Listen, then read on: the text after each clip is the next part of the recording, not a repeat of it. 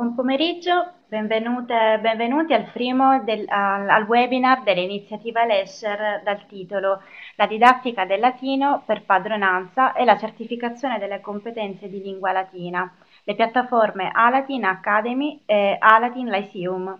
Interverrà Matteo Poero. Eh, Matteo da anni si occupa di digitalizzazione della didattica eh, nell'ambito umanistico. Nel 2012 insieme ad Adriano allora ha fondato i Maiautical Labs, eh, primo centro di ricerca eh, in Italia per web app e tutoring eh, sulle lingue classiche ideatore e creatore eh, tra gli altri di Cloud Schooling, Alatin, Itaca, eh, tutte piattaforme di apprendimento con oltre eh, 25.000 studenti attivi e 100.000 sessioni di lavoro mensili. Mi sembra sia tutto, vi auguro un buon webinar e lascio la parola a Matteo. Allora, buonasera a tutti, eh, grazie di aver partecipato a questo webinar.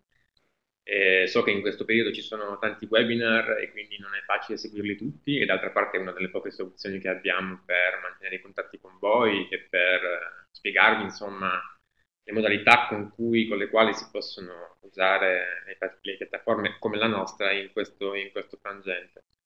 Um, questo webinar è nato eh, prima dell'emergenza e quindi inizialmente aveva un taglio sicuramente più metodologico. E io ho preferito dargli una curvatura un pochino più eh, applicativa, perché? Perché so che in questo momento eh, non avete la possibilità di confrontarvi dei visu con i, vostri, con i vostri studenti, o quantomeno insomma sempre comunque a distanza, e che d'altra parte alcuni problemi come quello sulla valutazione, per esempio, aveva molto sentito perché valutare i ragazzi a distanza è molto complicato magari poi parleremo anche di questa circolare che è uscita la 388 del Ministero che indica insomma, alcune, alcune, dà alcune indicazioni su quella che potrebbe essere la valutazione a distanza.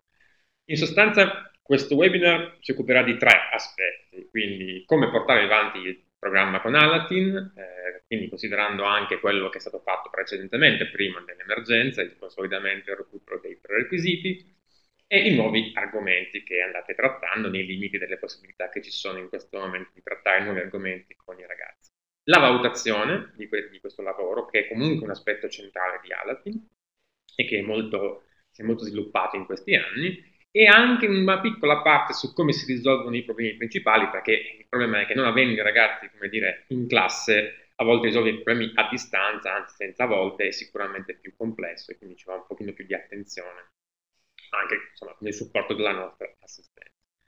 Partiamo da uh, quello che è il cuore di Alatin, cioè uh, il suo, diciamo così, principio metodologico. Alatin è un software che si fonda, si basa su quello che si chiama apprendimento per padronanza, che è sintetizzabile con un principio di fondo. Non passo a un argomento successivo prima di aver dimostrato come studente eh, una padronanza sufficiente di quello precedente. Ora, questo significa sostanzialmente che il monitoraggio su Alatin è fondamentale, quindi la valutazione su Alatin è fondamentale. Una valutazione che non si intende soltanto in termini meramente sommativi, voti, ma una valutazione che, come dire, tiene conto sia di quello che gli studenti percepiscono del proprio, dei propri progressi, del proprio andamento, la valutazione cosiddetta formativa, cioè la capacità degli studenti di rendersi conto mh, del punto in cui sono, in questo la macchina dà una grossa mano, e chiaramente anche la valutazione sommativa che, eh, come dire, insieme a quella formativa dà da questo punto di vista probabilmente, anzi probabilmente i massimi risultati. I migliori risultati che abbiamo avuto con Altin sono quelli che si hanno mettendo insieme queste due cose, quindi da una, da una parte i compiti con la valutazione formativa e dall'altra le verifiche con quella sommativa. Eh, I compiti per noi eh, dentro questa piattaforma vengono chiamati unità, ma non sono niente di più e niente di meno che gli argomenti che voi affrontate normalmente in un laboratorio di latino, quindi le declinazioni, i complementi, le proposizioni, eccetera, unità appunto eh, segmentate per argomenti.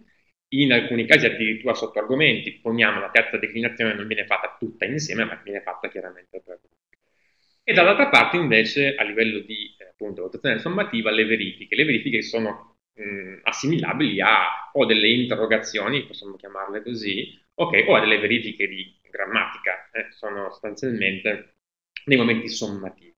In mezzo ci stanno le versioni, perché in mezzo? Perché in realtà lo strumento versioni in Alatin potete usarlo sia per l'una che per l'altra cosa, cioè sia a titolo formativo per formare i, i ragazzi, sia per verificarli se appunto eh, ponete la versione in un certo momento temporale, poniamo mercoledì dalle 10 alle 10 e mezza, alle 10.40, ok, sono tendenzialmente più brevi le nostre versioni rispetto a quelle su carta e a quel punto avranno sicuramente più un valore sommativo che non. Partiamo dalle unità che sono veramente il cuore di Alatin. Io ho fatto questo schemino perché in questi giorni, eh, avendo tanti eh, nuovi docenti che sono entrati, la piattaforma è cresciuta, pensate, del 350% nelle ultime tre, tre settimane, quindi un aumento quasi esponenziale, anzi senza quasi esponenziale, in linea con appunto le direttive di chiusura delle, delle scuole. Però spesso noi non riusciamo sempre a dire, monitorare che i docenti a cui abbiamo detto uh, ci sono le guide, ci sono le guide video, abbiano effettivamente letto queste guide. Ecco, eh, io non faccio il riassunto di tutte le guide, però questa è un'indicazione che c'è sulle guide e io trovo molto importante. Il numero di unità settimanali, nel senso che vediamo dei docenti che entrano in piattaforma, fanno la classe e poi aprono tutte le unità, aprono decine di unità. Ecco, serve a poco. Serve a poco perché in realtà aprire tutto alla fin fine significa molto probabilmente trovarsi con dei studenti che non faranno nulla o comunque che faranno poco. Invece è molto importante fare poche unità per volta, però monitorare che queste unità vengano fatte e chiaramente come monitorarlo? Valutandole. C'è un sistema interno che adesso vi faccio vedere per valutare anche i compiti a casa. Ovviamente il carico di lavoro dipende anche un po' strettamente da quelle che sono le ore curricolari, anche se in questo momento è difficile fare le scansioni orarie molto, molto precise, però è vero che tendenzialmente un classico da noi assegna 5-6 unità alla settimana, il linguistico intorno alle 2, lo scientifico tra le 3 e le 4, le scienze umane intorno alle 2 o 3 unità settimanali. Se vi fosse capitato di, come dire, non sapere ancora bene queste cose e di aver dato molte unità, potete chiedere all'assistenza che ve le deassegnino, cioè sostanzialmente se avete fatto il passo più lungo de della gamba non c'è problema, possiamo noi deselezionare queste unità in modo tale che voi possiate poi partire con un numero di unità, come dire, più eh, contingentato e più eh, ragionevole rispetto poi ai risultati che volete ottenere. Che cos'è un'unità su Alatin? Unità su Alatin sostanzialmente è un pistolotto di esercizi che eh, in prima battuta somiglia molto a quello che potrebbe essere un compito a casa tradizionale. Poniamo un esercizio su qualsiasi testo di Otti, Tantucci, Flocchini, anche il nostro, ok? Di una dozzina di frasi, una decina di frasi, adesso non so quanti tendenzialmente siete abituati a darne, però probabilmente è un esercizio di, di questo tipo. Ora, l'unità parte da questo principio, che in partenza tutti quanti devono fare almeno una dozzina di esercizi di analisi e di, tra- di traduzione, come avviene nei compiti a casa. Cosa fa la macchina di, be- di, bello e di diverso rispetto ai compiti su carta? Beh, intanto differenzia questi esercizi studente per studente, cioè nessuno studente avrà gli stessi esercizi che avrà il suo compagno. Saranno esercizi della medesima difficoltà, perché gli autori di Alatin hanno usato dei modelli di, di esercizio che hanno difficoltà analoghe, ma il testo sarà differente. Quindi saranno già esercizi differenti in partenza, in termini di qualità. Ma poi è anche importante la quantità, cioè da noi è importante questi 12 esercizi in partenza per ogni lezioncina, questi ragazzi li facciano corretti. Quindi poniamo una eh, unità come la prima declinazione, che è un'unità evidentemente molto semplice, avrà 5 lezioni, ciascuna delle quali avrà 12 esercizi di base. Ovviamente queste 5 micro lezioni sono di difficoltà crescente, quindi i ragazzi dovranno fare prima quelle più semplici per poi passare a quelle successive, però in, ogni, in ognuna di queste lezioni è fondamentale per lui, per passare all'argomento successivo, quindi per passare alla lezione successiva, ok?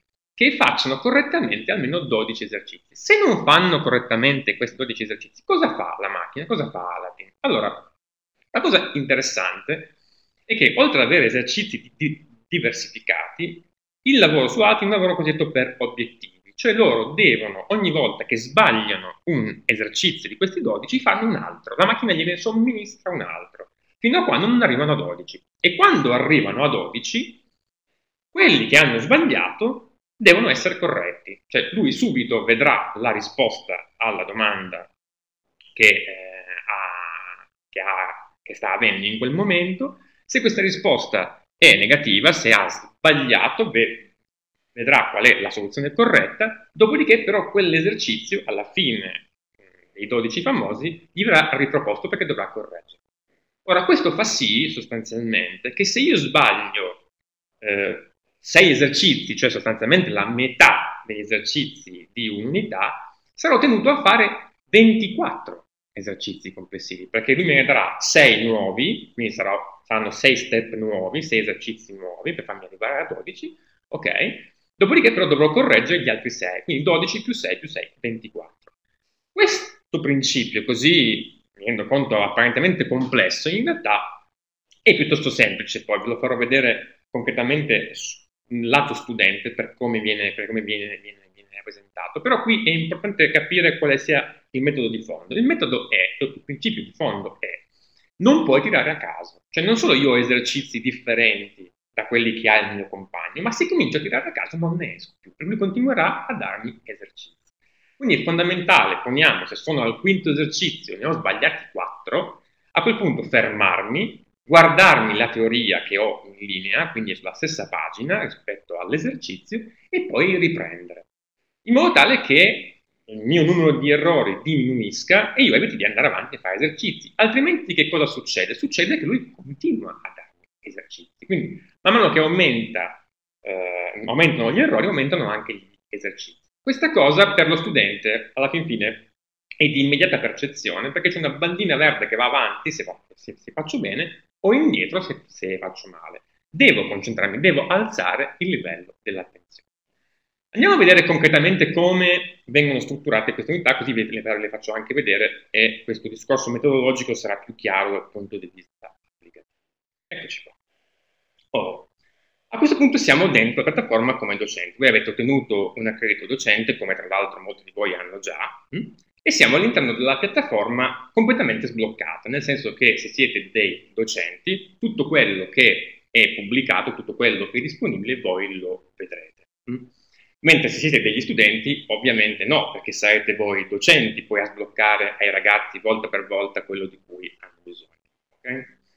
Vediamo innanzitutto l'unità. Ecco, vi dicevo, l'unità è un po' il cuore di Aladdin, è la base, quello che fondamentalmente rappresenta il lavoro principale e quello più svolto, più usato.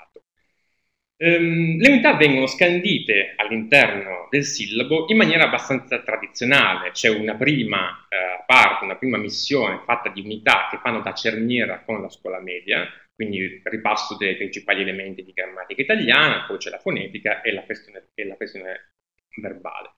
E poi comincia invece la parte di latino vera e propria. Mm.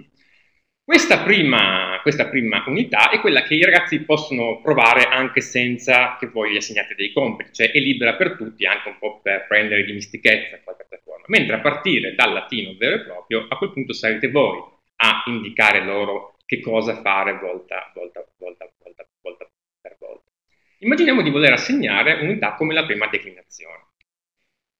Lui, ve lo ingrandisco un po', lui vi permetterà di capire qual è il tempo stimato complessivo, in questo caso parliamo di circa 75 minuti, però vi dice anche di quante eh, pause, di quante eh, lezioni è fatta questa unità. Sono 5, quindi sono più o meno 15 minuti a lezione. Voi potete provare queste lezioni in, in ordine sparso, però sappiate che nel momento in cui voi le assegnate, a quel punto i ragazzi dovranno partire dalla prima e man mano, passando dalla prima alla seconda, eh, sbloccare le unità successive. Mm. E questo chiaramente perché? Perché ogni unità è di un livello leggermente più difficile di quella precedente, quindi il principio dell'apprendimento per padronanza, come vi dicevo prima, è quello di far sì che per passare a un argomento successivo io devo dimostrare una padronanza sufficiente dell'argomento precedente. Immaginiamo di prendere subito una lezione più, più, difficile, in modo tale che vi rendete anche conto qual è la difficoltà massima di questa unità. Questa unità è una unità semplice, come la quinta. Quando, ecco, quando voi entrate dentro come eh, studenti, lui vi darà un esempio di come è l'interfaccia studente, di, come, di quali sono gli esercizi che fanno i ragazzi. Ora, è chiaro che questi esercizi, questo esercizio nella fattispecie, può darsi che capiti a uno e può darsi che non capiti all'altro. Il principio di base è che la difficoltà media di questi esercizi è uguale per tutti, però poi ognuno farà esercizi in proporzione diversa a seconda delle sue effettive necessità.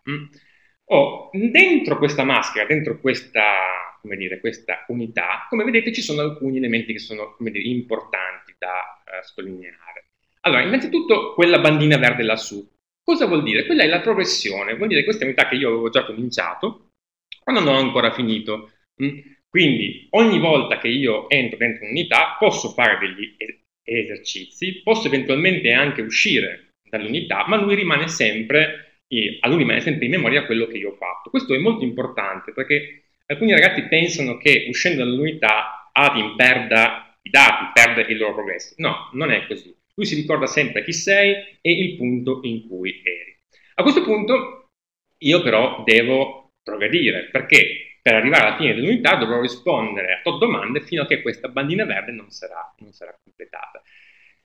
Nelle tipologie di domande potete vedere mh, insomma, parecchie, eh, parecchi tipologie di esercizi, ci sono esercizi di, di, di, di, analisi, ci sono esercizi di traduzione, in entrambe le direzioni, quindi sia dal latino all'italiano, sia anche dall'italiano al latino. Però attenzione, il fatto di farli tradurre in due direzioni, da una lingua all'altra e viceversa, per noi è fondamentale non tanto per una presunta, come dire, bontà della traduzione dall'italiano al latino, ma perché gli facciamo tradurre le stesse frasi, o comunque frasi molto vicine tra di loro a livello lessicale, e questo serve semplicemente per rafforzare il lessico. Il lessico dentro l'unità di Adin è frequenziale e quindi fa sì, in sostanza, che loro rivedano le eh, parole su cui stanno lavorando più e più volte all'interno di una stessa unità, più e più volte all'interno una stessa missione e poi di livello in livello, in modo tale che ci sia una sorta di bombardamento, che poi in realtà è il vecchio e solito repetita Juvent, e che però gli aiuti a familiarizzare con le parole. Il lessico loro ce l'hanno peraltro nella modalità appunto di verifica formativa in linea, se voi vedete qui loro hanno non solo in questo caso la traduzione lemmatica, chiaramente non è ancora eh, quella flessa, ma anche la declinazione. Perché? Perché è la prima volta che vedono la prima declinazione, quindi noi gli forniamo anche le tabelle di declinazione. Quando però ovviamente passeranno, poniamo, alla seconda declinazione, gli daremo delle tabelle della, della, seconda, ma non più quelle della prima. Perché? Perché si dà a questo punto per scontato che quelle della prima nel frattempo le abbiano metabolizzate. Okay? Quindi loro hanno dire, un set di strumenti che gli permette di lavorare in autonomia, senza il, il, dizionario, ma concentrandosi con quello che devono fare.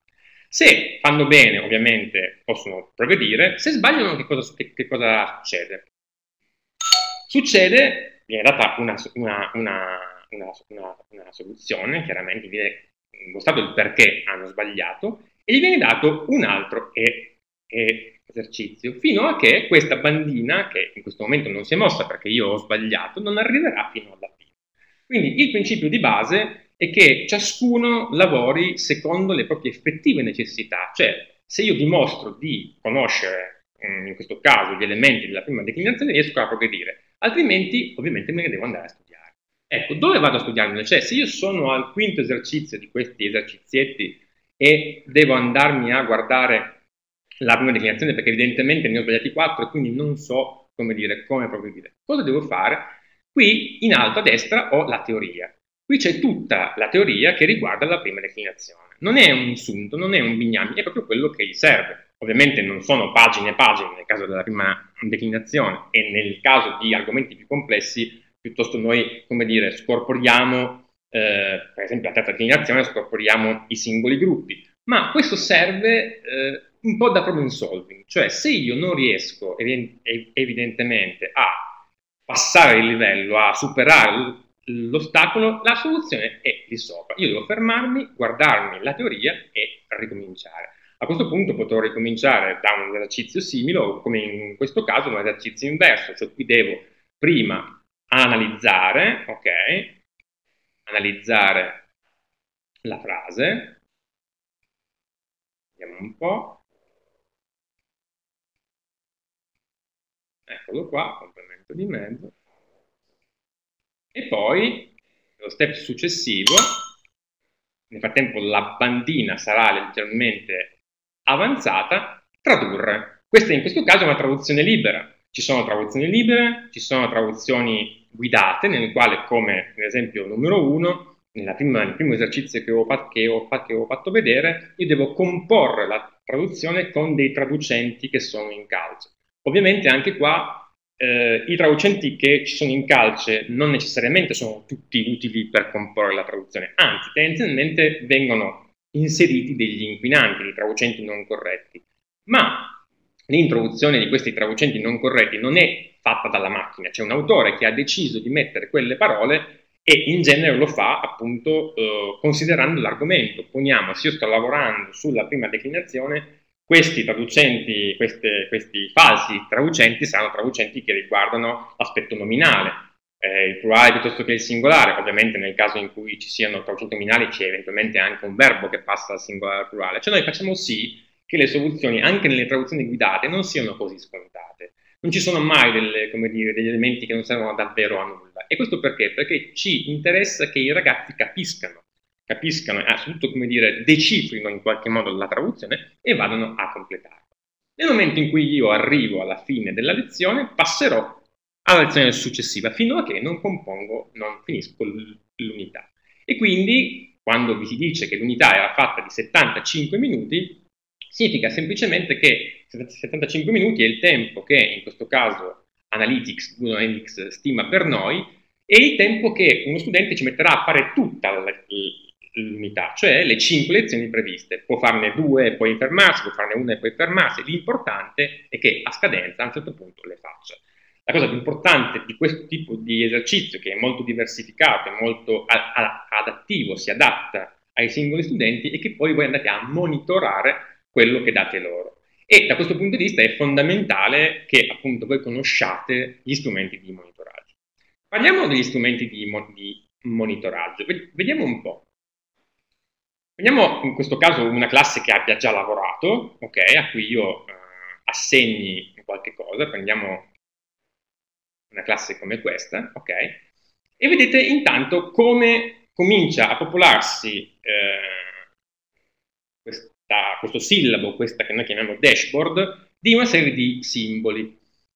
Ora, il simbolo probabilmente più eh, evidente e più frequente che vedrete è questa campanella. Quando voi assegnate un'unità, cosa succede? Succede che l'unità viene sbloccata, viene assegnata agli studenti, quindi sul loro silo si vedrà sbloccata e a quel punto diventa un compito. Tutte le unità che io vi dicevo si danno normalmente a, livello con scadenze settimanali, quindi eh, 5 o 6 per il classico, 3 o 4 per lo scientifico, eccetera, sono niente di più, niente di meno che queste, che queste campanelle. Quando voi, prendiamo un'unità che io non ho ancora assegnato, questa sul, sul lessico, quando voi date un'unità, che cosa fate? Andate eventualmente a vedere qualche esercizio all'interno a livello di campione e poi cliccate su assegno. Mm? Lui vi chiederà se siete, se siete, se siete convinti, a questo punto, quando l'unità è stata assegnata con successo, vedrete che in calce comparirà un tasto. Il tasto è il tasto che vi permette di monitorare come sta andando quell'unità. Ovviamente io non vado a vedere questa, perché se io cliccassi su questa vedrei probabilmente una situazione in cui nessuno ha ancora fatto nulla, perché chiaramente io l'ho appena assegnato. Mm? Andiamo a vedere invece un'unità che io ho già assegnato per capire un po' come si può leggere il dato di monitoraggio. Prendiamo, eh, prendiamo il dativo di possesso, che in genere è un argomento già un po' spinoso, perché? Perché pur essendo un argomento abbastanza semplice, qui viene stimato su 30 minuti, quindi sostanzialmente due lezioncine, una un po' più difficile, una un po' più, una più facile e un po' più difficile, comunque produce già qualche difficoltà. Andiamo a vedere l'andamento. E qui vi dice come è andata l'unità. In questo caso avete una sintesi a, sinistra, in questo caso io avevo 26 studenti, in 26 hanno completato l'unità. Se aveste qualcuno in corrispondenza del, dell'orologino, significherebbe semplicemente che eh, questa persona o queste persone hanno fatto una delle due lezioni, ma non hanno completato l'unità. Se invece aveste qualcuno in corrispondenza del trattino, vuol dire che non hanno mai cominciato. Quindi voi già a scadenza, immaginiamo io do l'unità per lunedì prossimo, lunedì potrete andare a vedere anche domenica come sta andando, cioè se hanno effettivamente, quanti hanno effettivamente completato, quanti sono a metà e quanti invece non, hanno, non sono ancora partiti. Il dato forse più interessante e più importante però in questa, in questa tabella è la percentuale degli errori. Perché? Perché se questo dato sostanzialmente vi dice che il ragazzo ha fatto tutti i compiti e quindi ha già lavorato in proporzione rispetto alle sue effettive necessità, la percentuale degli errori vi dice non tanto quanto ha fatto, ma come l'ha fatto. Mm? Allora, questa percentuale voi potete filtrarla, ordinarla in ordine crescente, in ordine decrescente e vedete che c'è qualcuno come Anna che non ha fatto alcun errore, quindi si è fatta le sue lezioni in sostanza 12 più 12, 24 esercizi, e c'è chi invece, sbagliando, ha dovuto fare più esercizi. C'è chi ne ha sbagliato circa 1,5 su 10, 14%, chi ne ha sbagliati il 22%, cioè circa 2 su 10, e via dicendo. C'è, come vedrete, chi arriva a sbagliarne 6 barra 7 su 10. Ora, questa persona, come in questo caso in questo Daniele T, è evidentemente in difficoltà, però badate, in qualche modo dalle sue difficoltà ne è uscito. Cioè sostanzialmente lui ha lavorato molto più dei compagni e, posto anche che magari in alcuni esercizi abbia tirato a caso, si è, si è reso conto di aver fatto molti più esercizi degli altri. Ora, io andrò a valutarlo su questa unità? No, non si valuta mai un'unità per volta, ma si valuta il trend. Cioè, se io do 3 o 4 unità per volta, mi aspetto che Daniele, nel passaggio da un'unità all'altra, lentamente riduca il suo numero degli errori. Perché? Perché uno gli conviene dal punto di vista dei tempi, ci mette molto meno se alza il livello dell'attenzione. Due, ai fini della valutazione, ovviamente il fatto di averlo fatto in questo caso col 60%, come dire, migliorerà se lui la prossima la farà, come dire, puntando al 40% o al 30%. Se invece continua a rimanere sul 60% degli errori, anzi in questo caso quasi il 70%, e ovviamente la sua valutazione ne risentirà. Quindi la valutazione formativa, perché badate, questi numeri sono numeri che i ragazzi vedono, cioè i ragazzi sanno chiaramente dove sono arrivati in termini di unità completate, ma sanno anche quanti errori hanno fatto e quindi sostanzialmente la percentuale degli errori gli serve per misurarsi, soprattutto se quello che conta, come vi dicevo, non è tanto la singola unità, come sempre sulla singola unità, ma il trend. Mm. Infine c'è una colonna che si chiama XP, punti esperienza, e molti chiedono ma cosa sono gli XP. L'XP è eh, dire, una misurazione, mettiamola così, una cosa che noi diamo ai ragazzi per misurare non tanto eh, dire, il loro andamento sulla singola unità, ma il loro complesso, il complesso di, eh, del lavoro che hanno fatto su Atin. Cioè i punti di esperienza crescono, sono come un punteggio eh, di gioco che man mano che io completo esercizi va, va crescendo.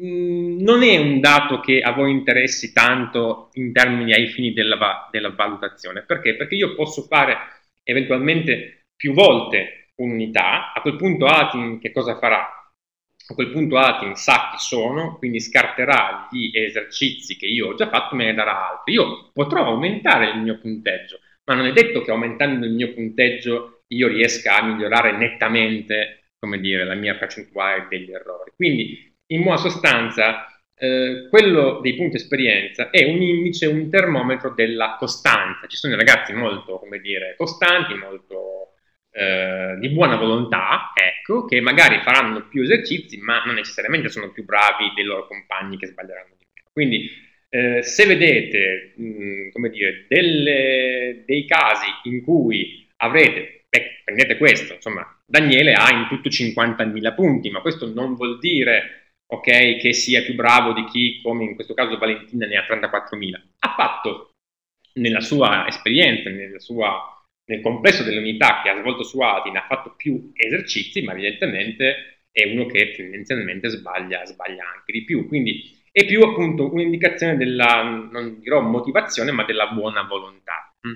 A voi serve per avere una cartina di tornasole, perché ovviamente se io ho uno studente che è più in difficoltà ma mostra di avere dire, fatto tanti esercizi, vuol dire che tutto sommato alla fine dell'anno, alla fine di un, di un quadrimestre potrò tenerne Infine, vediamo gli errori frequenti. Che cosa sono gli errori frequenti? Sono un campione degli esercizi che eh, hanno generato più errori. Cioè, quando vediamo un, come in questo caso, andamento dell'unità, in realtà eh, a voi non serve sapere gli esercizi che hanno fatto tutti, anche perché diventereste, diventereste pazzi. Cioè, se noi vedessimo il listato di tutti gli esercizi, considerando che sono esercizi diversi, sia in quantità che in qualità, che hanno fatto tutti, non ne uscireste più. Noi vediamo i primi dieci eh, esercizi che hanno registrato presso di loro, perché chiaramente gli esercizi tornano, girano, ok, il maggior numero di errori. A voi cosa serve questo, questo dato? Serve per capire più o meno quali sono state le difficoltà principali, considerando comunque che se sono arrivati alla fine dell'unità hanno comunque svolto il loro compito, ci sono comunque arrivati a buon fine, sono arrivati a fare quello che, do, che, che dovevano fare. Quindi è in realtà importante anzitutto che loro completino le unità, perché questo già, come dire, dà una proporzione del lavoro sul singolo individuo. E poi chiaramente è importante come le hanno fatte, cioè la percentuale de, degli errori. Se però voleste usare, poniamo durante questi giorni di streaming, o anche chiaramente quando si spera si tornerà a scuola, eh, provare a vedere con loro un campione di questi esercizi che sono andati peggio, in una decina di minuti, in un quarto d'ora, e la cosiddetta correzione a campione, ecco, gli, gli, errori, gli, errori, gli errori, frequenti servono esattamente a quello. Um, andiamo, andiamo, a vedere a questo punto, date un certo numero di unità, ok? Immaginiamo di aver dato 5 unità, come si fanno a valutare? Nel senso che quando vi ho detto le unità non si valutano singolarmente, ovviamente questo non significa che le unità non si valutano in assoluto, significa che si valutano a gruppi, si valutano come quelle che si chiamano appunto verifiche formative. Man mano che io do settimanalmente delle unità, posso alla fine della settimana, ogni due settimane, valutare queste unità. Come faccio a valutare le unità? Questo è il punto, forse è il punto, è il punto principale di questa prima parte del, del webinar. Vado sul menu a ovetto, dove ci sono tutte le funzioni di Alati. In questo caso avrò una voce classi, che è quella eh, dove voi avete tutto eh, il lavoro svolto, tutto lo spaccato del lavoro svolto, e prenderò la classe che mi interessa. Se avete più di una classe, ovviamente sceglierete quella che vi interessa. Prendiamo, per esempio, la terza A, terza A classico. Qui lui eh, ci mette un po' a caricare, ehm, vi farà vedere tutte le unità che sono state assegnate a questa classe dall'inizio, cioè è il registro complessivo di tutte le unità. In questo caso sono parecchie unità, nel senso che sono 202. In questo caso Gioia le ha fatte tutte, gli altri invece sono insomma, chi ha 150, chi ha 180, eccetera, eccetera, eccetera. Considerando questa è una terza, quindi verosimilmente ha fatto tre anni di lavoro e poi si è, e poi si è interrotta. Ovviamente qui potete vedere, a differenza dell'andamento sul, sul, singolo argomento, potete vedere invece un po' l'altra faccia della medaglia, cioè l'andamento del singolo studente. Quindi prendiamo, poniamo uno che ne abbia date fatte di meno, ok, per esempio questo Alessandro, ok, se, eh, se o Daniele, ecco, Daniele che era il nostro studente di prima, lui, anche qua ci metterà un attimo a caricare perché sono tanti dati, vi farà vedere unità per unità che cosa, eh, che cosa è successo. Vi farò vedere innanzitutto se l'unità è stata completata. Vedete che alcune Daniele le ha completate, su altre invece è rimasto indietro. E poi vi farà vedere la percentuale degli errori di ogni singola unità. Quindi voi avete già un'idea abbastanza, come dire, compiuta di quelle che ha fatto e di quelle che non, che, non, che, non, che non ha fatto. In questo caso, insomma, Daniele ne ha fatte alcune, ma non ne ha, non ne ha svolte tante. È uno di quelli appunto dal suo punto di vista messi peggio. Um, come si fa a valutare questo, questo, lavoro? Chiaramente è un lavoro che si valuta man mano, non si valuta tutto insieme. Mm? Diciamo che alla fine della settimana X, alla fine della settimana prossima, io voglio fare una, una valutazione sulle prime 5 unità. Um, se io clicco su valuta, A questo punto lui mi farà vedere tutte le unità che io ho dato, quelle che ho assegnato, chiaramente non mi farà vedere quelle che non ho, che non ho assegnato, con tanto di data, questa è una cassa molto vecchia, nella quale io ho fatto questa, ho fatto l'assegnazione, ho assegnato l'unità e mi, e mi chiede, mi sta chiedendo quale unità vuoi valutare? Immaginiamo di valutare tutta la seconda declinazione, perché io questa settimana ho fatto con loro tutta la seconda declinazione. Quindi selezionerò le unità che mi interessano, darò come titolo della valutazione seconda declinazione, scusatemi, oggi con la tastiera sono un disastro, declinazione, ok, e poi gli dirò crea. A questo punto lui che cosa farà? Mi farà una valutazione specifica di quelle 5 unità lì. Quindi caricherà un po' di dati, andrà a vedere quello che è stato fatto da Tizio, quello che è stato fatto da Caio, insomma, fa un buon numero di calcoli perché in questo senso la macchina deve tenere conto di un sacco di informazioni, deve tenere conto eh, di quante, chi è arrivato dove, deve tenere, deve tenere in conto di chi non ci è arrivato, deve tenere conto delle percentuali che ha fatto Tizio che, e che ha fatto Caio. Quando vi arriva, e speriamo che arrivi, la, eccola qua, arriva la valutazione, voi avrete però uno spaccato molto dettagliato. Vi dirà quando è stata creata, vedete che ve la mette dentro il, dire, questo tab che si chiama valutazioni, quindi diventerà poi facente parte del vostro archivio, e se voi ci cliccate sopra, a quel punto vedrete come è andata. E tutto sommato questa, che è una per carità è una classe di liceo classico, sulla seconda declinazione, che è un'unità tutto sommato piuttosto semplice, è andata bene. Se io clicco su ogni singolo studente mi dirà come è andato questo studente o come è andata su ogni singolo aspetto, cioè su ogni singola unità dell'argomento seconda declinazione. L'unità, la seconda declinazione era un argomento che cubava 4 mm, unità sottounità, ciascuna delle quali probabilmente aveva 4-5 lezioni. Quindi eh, in questo caso Alice, che ha una media molto alta, ha fatto bene tutto il lavoro. Questo è un dato alla fin fine che chiaramente varierà molto, nel senso che quando io andrò a valutare unità più avanti, più difficili, ovviamente la percentuale degli errori comincerà a salire e la valutazione sarà più bassa. Però vi permette di, come dire, tenere, eh, tenere guardia, di, di osservare, di monitorare i ragazzi in maniera molto capillare e praticamente in maniera molto frequente, nel senso che potete chiaramente farlo una volta al mese, ma potete farlo anche una volta alla, alla, alla settimana. Di fatto i dati lui li ha tutti e quindi per voi si tratta di pochi clic.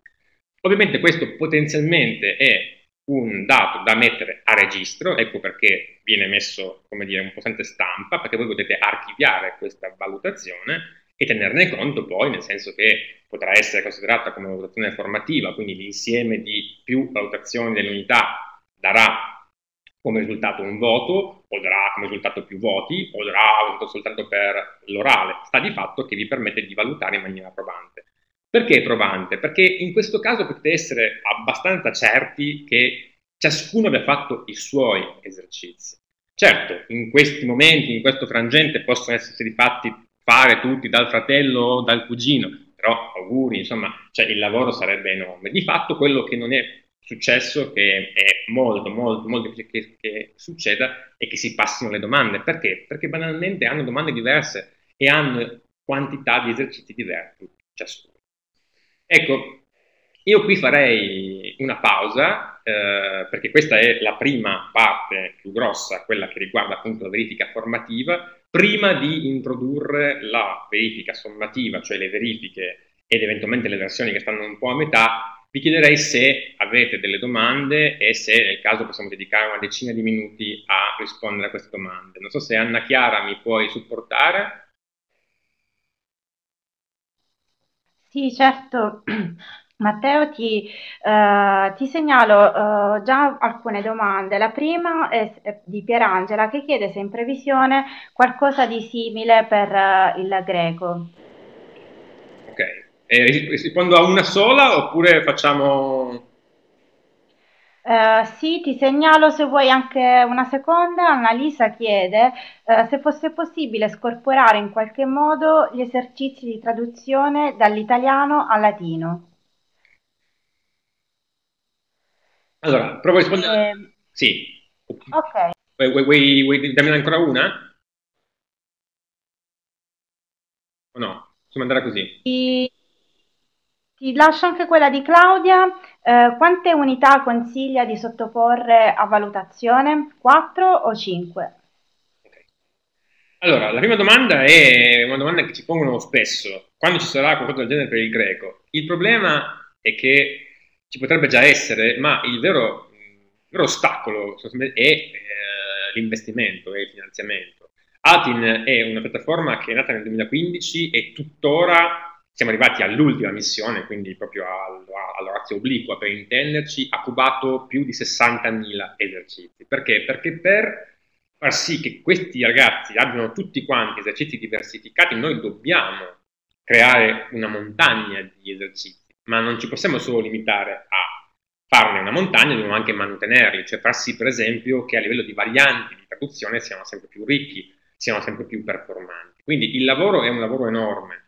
La piattaforma in questo momento potrebbe essere, come dire, potrebbe generare eh, una sorella di eh, greco, però mh, il numero di esercizi che servirebbe non è tanto diverso, quindi ci vogliono investimenti molto grandi.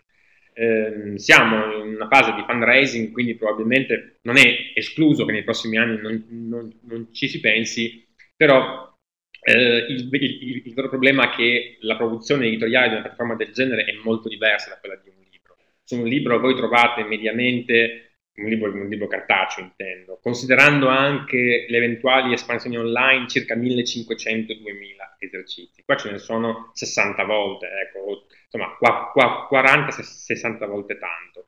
Il privilegio, come dire, il, mm, come dire, il valore aggiunto più del privilegio di questa piattaforma qual è? È quello che questi esercizi in realtà vengono appunto mantenuti, ma vengono usati per tracciare anche le, le, le domande. Questi 60.000 esercizi hanno tracciato complessivamente quasi 80 milioni di risposte. E queste risposte ci servono per migliorare la piattaforma, per farla diventare sempre più performante. Um, la domanda um, che riguarda il numero di assegnazioni medie per unità. Io, eh, cioè il, mio, il, numero di unità medie per valutazione, io non, direi che tra 4 e 5 non c'è sostanzialmente eh, voi potete o raggruppare per ordine temporale, quindi eh, tendenzialmente una settimana, due settimane, mh, scansioni in modo tale che ci sia un intendimento vostro con i docenti, molto, con gli studenti molto chiaro. Sappiate che alla fine di questa unità ci sarà una valutazione. Potete usare un ordine temporale, appunto, a settimane o bisettimanale o addirittura mensile, Oppure potete usare un sistema semantico, cioè come in questo caso tutta la seconda declinazione. Lì dipende un po' dal punto del programma in cui siete. Certamente meno di 4 o 5 secondo me non sono troppo indicative perché? perché è difficile poi in 4 o 5 vedere eventualmente il miglioramento che fanno gli studenti. Noi abbiamo eh, studiato l'andamento degli errori in un anno, cioè abbiamo visto classi che usavano per un anno intero, abbiamo studiato per capire come si muovevano. La diminuzione delle classi, degli errori in una classe standard in un anno, quindi parliamo allo scientifico di circa 60 70 unità, ok? Forse anche qualcosa in più, e al classico si arriva a 100, 110, insomma. Eh, e più o meno tra il eh, 15 e il 25%, cioè i ragazzi riducono il numero degli errori man mano che vanno avanti in questa percentuale. Ovviamente dipende anche un po' dal punto del, dire, dall'anno in cui sono, sa che il programma di seconda è più complicato di quello di prima, quindi dire, il miglioramento può essere meno, me, meno sensibile, ma è comunque molto evidente. Ed è evidente soprattutto per quelli che sono così borderline, cioè, quelli bravi sicuramente ci fanno meno fatica e arrivano a potenziare in maniera molto evidente. Quelli borderline, secondo me, sono quelli in qualche modo più interessati dalla piattaforma perché? Perché sono quei ragazzi che stanno tendenzialmente tra il 5 e il 6 o addirittura il 5 e il 7, però fanno, dire, fanno fatica a emergere e invece dire, ci mettono poco ad, ad, ad, andare giù. Per questi, eh, e ci è stato detto in più di un'occasione, Admin è stato in più di un'occasione un salvavita almeno per quello che riguarda in questo caso il credito, il debito a, a settembre. Ehm, c'era ancora una, una, una, domanda, se non sbaglio, però mi sono perso, non mi sono segnato la domanda. Anna Chiara, scusami, era la seconda. Ecco. Eh, dunque, eh, eh, quindi ieri alla seconda, eh, no, hai risposto a quante unità consigli, alla, sì, unità da sottoporre a valutazione. Esatto, allora, eh, se è possibile scorporare in qualche modo gli esercizi di traduzione dall'italiano al latino. Allora, come vi farò vedere adesso, eh, nella, nel, nel, nel, dire, nella, nella seconda parte del webinar che riguarda le verifiche, in fase di verifica è certamente possibile scorporare il latino all'italiano da quello dall'italiano al latino. Nelle unità no, ma in unità no perché? Eh, non perché siamo perversi, ma perché eh, quelle che loro vedono, le frasi in entrambe le direzioni, sono le stesse frasi. Quindi, in buona sostanza, quello che eh, si punta a fare nell'unità, anche per esempio quando io devo analizzare e tradurre dall'italiano al latino, è A che abbia forte l'italiano. L'analisi dell'italiano serve in, in, dire, in, prospettiva per il latino e B che sappia, eh, come dire, in qualche modo fotografare il lessico, ok? In modo tale che se la stessa frase io l'ho tradotta dal latino all'italiano, poi il passaggio della traduzione dall'italiano al latino sia più un passaggio, come dire, meno eh, sintattico e più lessicale. Mi spiego. I ragazzi fanno molta fatica a, dire, ad ascoltare la lingua latina. Ci sono certe cadenze, come tendenzialmente il verbo al fondo, come il genitivo che precede il nominativo a cui appartiene, che eh, se instillati, cioè se in qualche modo verificati, se esercitati in queste un, unità, poi gli, gli, gli, gli, rimangono. Quindi la nostra finalità non è assolutamente quella di farli tradurre poi delle versioni mh, mm, eh, dall'italiano al latino, non ci sono versioni dall'italiano al latino in, in, in latin, ma è quella di familiarizzare col lessico. E nella letteratura sull'argomento si dice molto chiaramente una cosa, è un po' quello che è il pezzo di didattica eh, del latino che viene dal nord Europa che c'è in Atin. Atin è una piattaforma molto tradizionale in termini di analisi e di traduzione, quindi la docimologia di Atin è molto mh, tradizionale, la tradizione didattica. In compenso, quello secondo me è l'aspetto più interessante che si può prendere, che si può mutuare dall'esperienza nord, nord europea, e cioè se io imparo a tradurre anche inversamente, cioè anche in questo caso dall'italiano al latino, accendo una parte del cervello che è appunto quella più pro- proattiva, che a sua volta sollecita molto più efficacemente la memoria lessicale. Ed è uno dei motivi per cui, come dire, nelle lingue vive non si insegna ovviamente a tradurre, non, non di tanto, ecco, nella didattica delle lingue vive non si fa. Ma se voi guardate le piattaforme di lingua viva come Duolingo, come Babbel, sono molto incentrate sulla traduzione inversa per un motivo lessicale, cioè se io imparo a scrivere in latino anche piccole frasi sostanzialmente, mi ricorderò molto più semplicemente il lessico. E qui non so se ho risposto, quindi ovviamente nelle unità non si può perché fa parte del metodo proprio, tant'è che alla fine di una missione, alla fine delle unità di una missione c'è poi proprio una parte di lessico. Si può ovviamente in fase di verifica, come vi, vi, vi, farò vedere, perché in fondo, ripeto, a noi non interessa verificare tanto la loro abilità nella traduzione dall'italiano al latino, ci interessa però che loro riescano a riconoscere un 40, un 50, un 60% del lessico a cui vanno incontro nel passaggio dal biennio al triennio.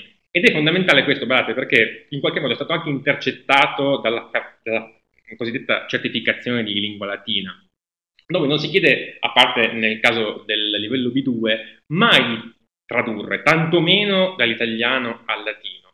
Però si chiede, questo sì, si dà per scontato anzi una certa padronanza del lessico. Il problema dei ragazzi è che io ho delle quinte ginnasio che durante le versioni in classe mi cercano parole come duco, parole come capio, Ora, non è che non sappiano cosa vuol dire tu, così, cosa vuol dire capio, ma probabilmente a casa l'uso del dizionario è più estemporaneo e quando arrivano in classe, non avendo più la rete, non avendo più un supporto lessicale, il dizionario diventa un po' l'amico nemico, cioè diventa quello a cui tu ti devi, come dire, affidare in toto, spesso senza saperlo usare in maniera propria.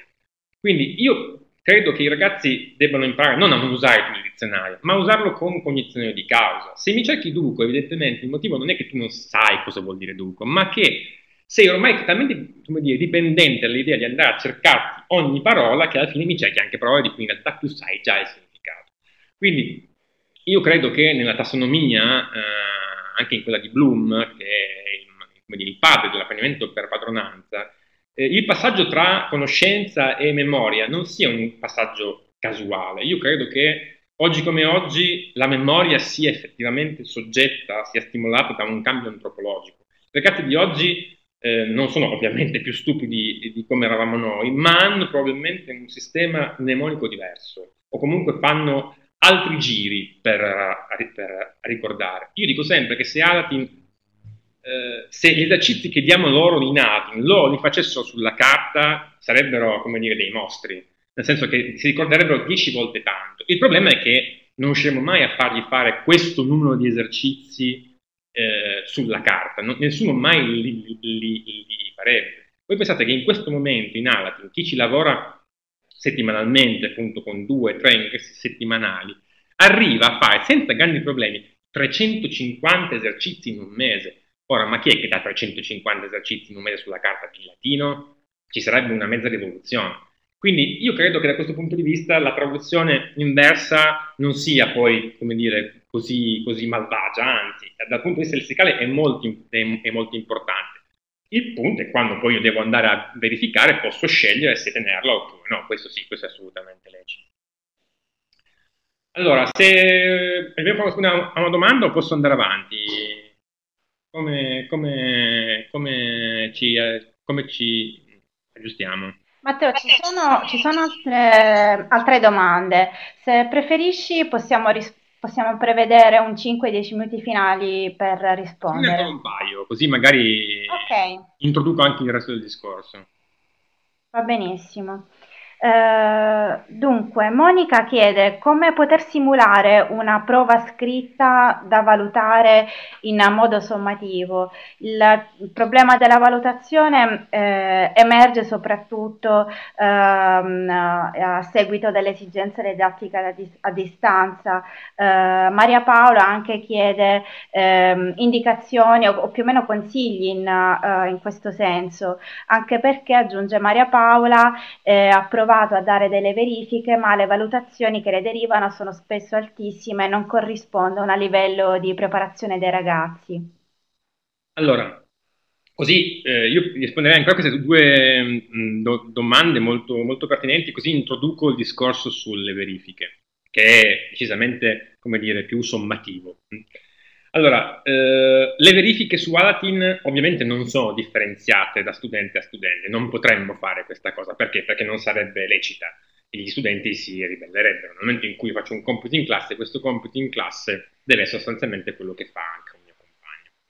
Quindi noi non ci possiamo permettere, seppure eh, dal punto di vista dei contenuti non ci manchino, di dargli esercizi differenziati. Mm. Allora noi che cosa facciamo?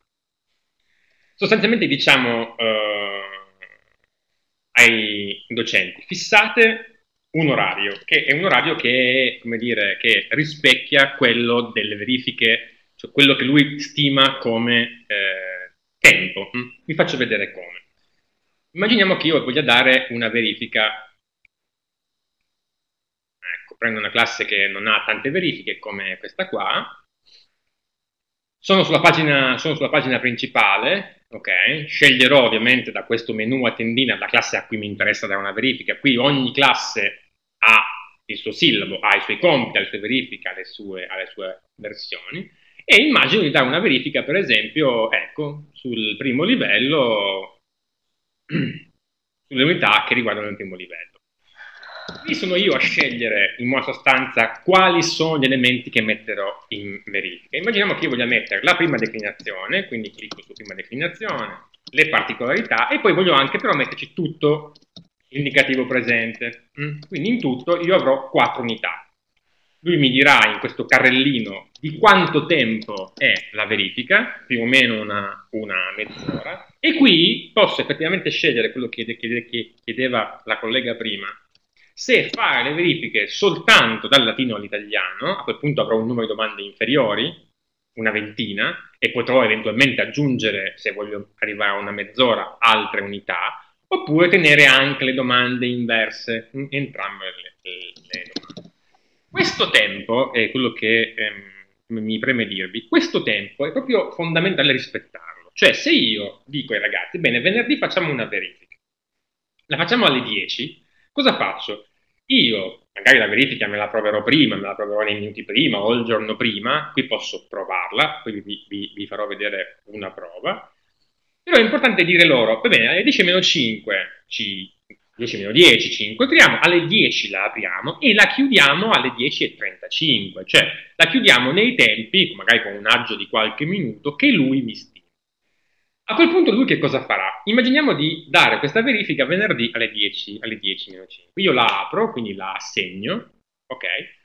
E lui allo studente che cosa farà vedere? Farà vedere che è comparsa una, un tasto verifiche come c'era sul mio, sulla mia pagina principale, è comparso anche a lui con un bel pulsante fai la verifica e lui verrà calato esattamente qui dentro, cioè avrà una serie di esercizi che sono quelli che sono stati previsti per la verifica. Ora, come, come, dire, come facciamo a garantire che questi esercizi non vengano copiati? Beh, in due modi sostanzialmente, posto che sono gli stessi esercizi. Uno, non vengono dati nel medesimo tempo a tutti quanti, cioè l'ordine con cui vengono somministrati è randomico, quindi io a seconda insomma, della verifica che ho avrò gli stessi esercizi ma in un altro ordine. Due, ed è fondamentale questo, io non ho un feedback. Se io qui sbagliassi, poniamo, questa è una frase dal, eh, dall'italiano al latino da analizzare che poi veniva ev ev evidentemente chiesto di mm, tradurre, come vedete lui non mi ha dato il feedback. Se io qui sto andando avanti, vado avanti senza rispondere correttamente, ma io non so se sto facendo bene o male. Allora, se andiamo a mettere insieme queste due cose, cioè i ragazzi non sanno quale domanda in quel momento hanno, hanno più o meno, abbiamo detto, un minuto a domanda, mm? ma questo in realtà lo stabilite voi, non è che ci sia un timer. Lui vi ha dato mezz'ora indicativamente, ok? Ma questo non vuol dire che non potete, se avete una classe particolarmente virtuosa, dargliene meno, dargliela per esempio in 25 minuti, ok? Considerate che Alatin è tarato più o meno sul, sul 60% di liceo scientifico, un 30% di liceo classico, un 10% spalmato tra scienze umane e linguistiche. Quindi state voi poi a stabilire qual è il tempo a seconda delle verifiche di prova, della verifica di prova che, che, che farete. Se io, studente, però non so cosa sto facendo, esercizi che ho non sono uguali a quelli del mio compagno, è difficile che in un minuto mh, mm, o anche meno riesca a passargli la, la, la domanda, anche perché me la, me, me la, rischierei. Io cosa faccio? Devo rispondere. Devo rispondere come se fossi durante insomma, in, una, in una, una verifica in classe. Certo, potrebbe esserci la mamma pronta lì a fargli la verifica, questo chiaramente è difficile stabilirlo in questi momenti. Voi immaginate queste verifiche sono state pensate, immaginate per essere svolte in classe. Però io vi dico, onestamente non è poi così probabile che tutti quanti si facciano aiutare sistematicamente in quel lasso tempo lì, più che altro perché se hanno fatto le unità che in qualche modo rispecchino questi esercizi è un discorso, ma se, come dire, un aiuto potrebbero averlo da persone che non hanno mai visto niente, mi esce difficile che poi questo aiuto sia effettivamente valido. Se io non so rispondere, questo è, è importante, piuttosto che rispondere a caso, perché ripeto, ognuno non ha un feedback, posso saltare la domanda. Cioè nelle verifiche c'è un tasto in più che non c'è nelle unità. Mm? Questo tasto in più consente di saltare la domanda fino eventualmente ad arrivare alla, al, alla consegna. Quando sarà ora di consegnare, a quel punto lui mi chiederà vuoi riprendere le domande che hai saltato oppure vuoi consegnare? Ora, questo è fondamentale perché quello che diciamo ai, ai, ai ragazzi è di non tirare mai a caso. Cioè se tu non sai una risposta, la salti piuttosto. Poi chiaramente devi amministrare un po' il tempo, sai che entro le 10 e mezza viene chiusa la verifica e quindi magari alle 10 e 20, se arrivi alla fine e hai ancora tempo, ti puoi riprendere le domande che hai, che hai, che hai saltato. Come vedete nella verifica non c'è il lessico in linea e quindi è importante fare le unità ed è importante immagazzinare il lessico perché poi che sia una domanda, come in questo caso, dall'italiano al latino, che sia che voi abbiate deciso di mettere soltanto le domande dal latino all'italiano, il lessico è importante. perché anche qua in un minuto è difficile che io possa andare a ravanare sul dizionario. Sì, lo posso fare, non è che poi ti cambi molto, ma perderei tempo sulle domande successive. Non c'è il lessico e non c'è chiaramente neanche la grammatica. Qui c'è il pulsante di assistenza se avessi un problema tecnico, ma non c'è la grammatica. Quindi, per eh, sintetizzare, le verifiche a cosa servono? Servono per vedere a distanza di due settimane, tre settimane, il tempo che voi stabilite, se le unità che, come dire, hanno fatto a casa e che voi avete valutato in chiave, for in chiave formativa effettivamente abbiano poi prodotto dei, dei risultati. Se la verifica va molto bene, troppo bene, ecco, secondo me le spie sono due. O avete dato troppo tempo, quindi c'è stato tro troppo troppo tempo, ok? Mm, una mezza giornata piuttosto che addirittura da un, da, da, da un, un giorno all'altro. Oppure, e che è l'altra faccia della, della medaglia, c'erano troppe poche cose in qualche modo in quel tempo lì da vedere e quindi eh, il tempo che avevano a, a, disposizione per la singola domanda era eccessivo. Hanno avuto troppo tempo. La verifica di una piattaforma che sostanzialmente è comportamentista come questa è in qualche modo un test comportamentista, cioè nel momento in cui io vedo una traduzione, vedo una frasetta di una, due righe, poi chiaramente le verifiche più avanti diventeranno più, più difficili, devo rispondere, come dire, non dico intuito, ok, però devo essere pronto e quindi sarò pronto se io a livello sintattico, a livello lessicale sarò pronto per rispondere. Questo è molto importante.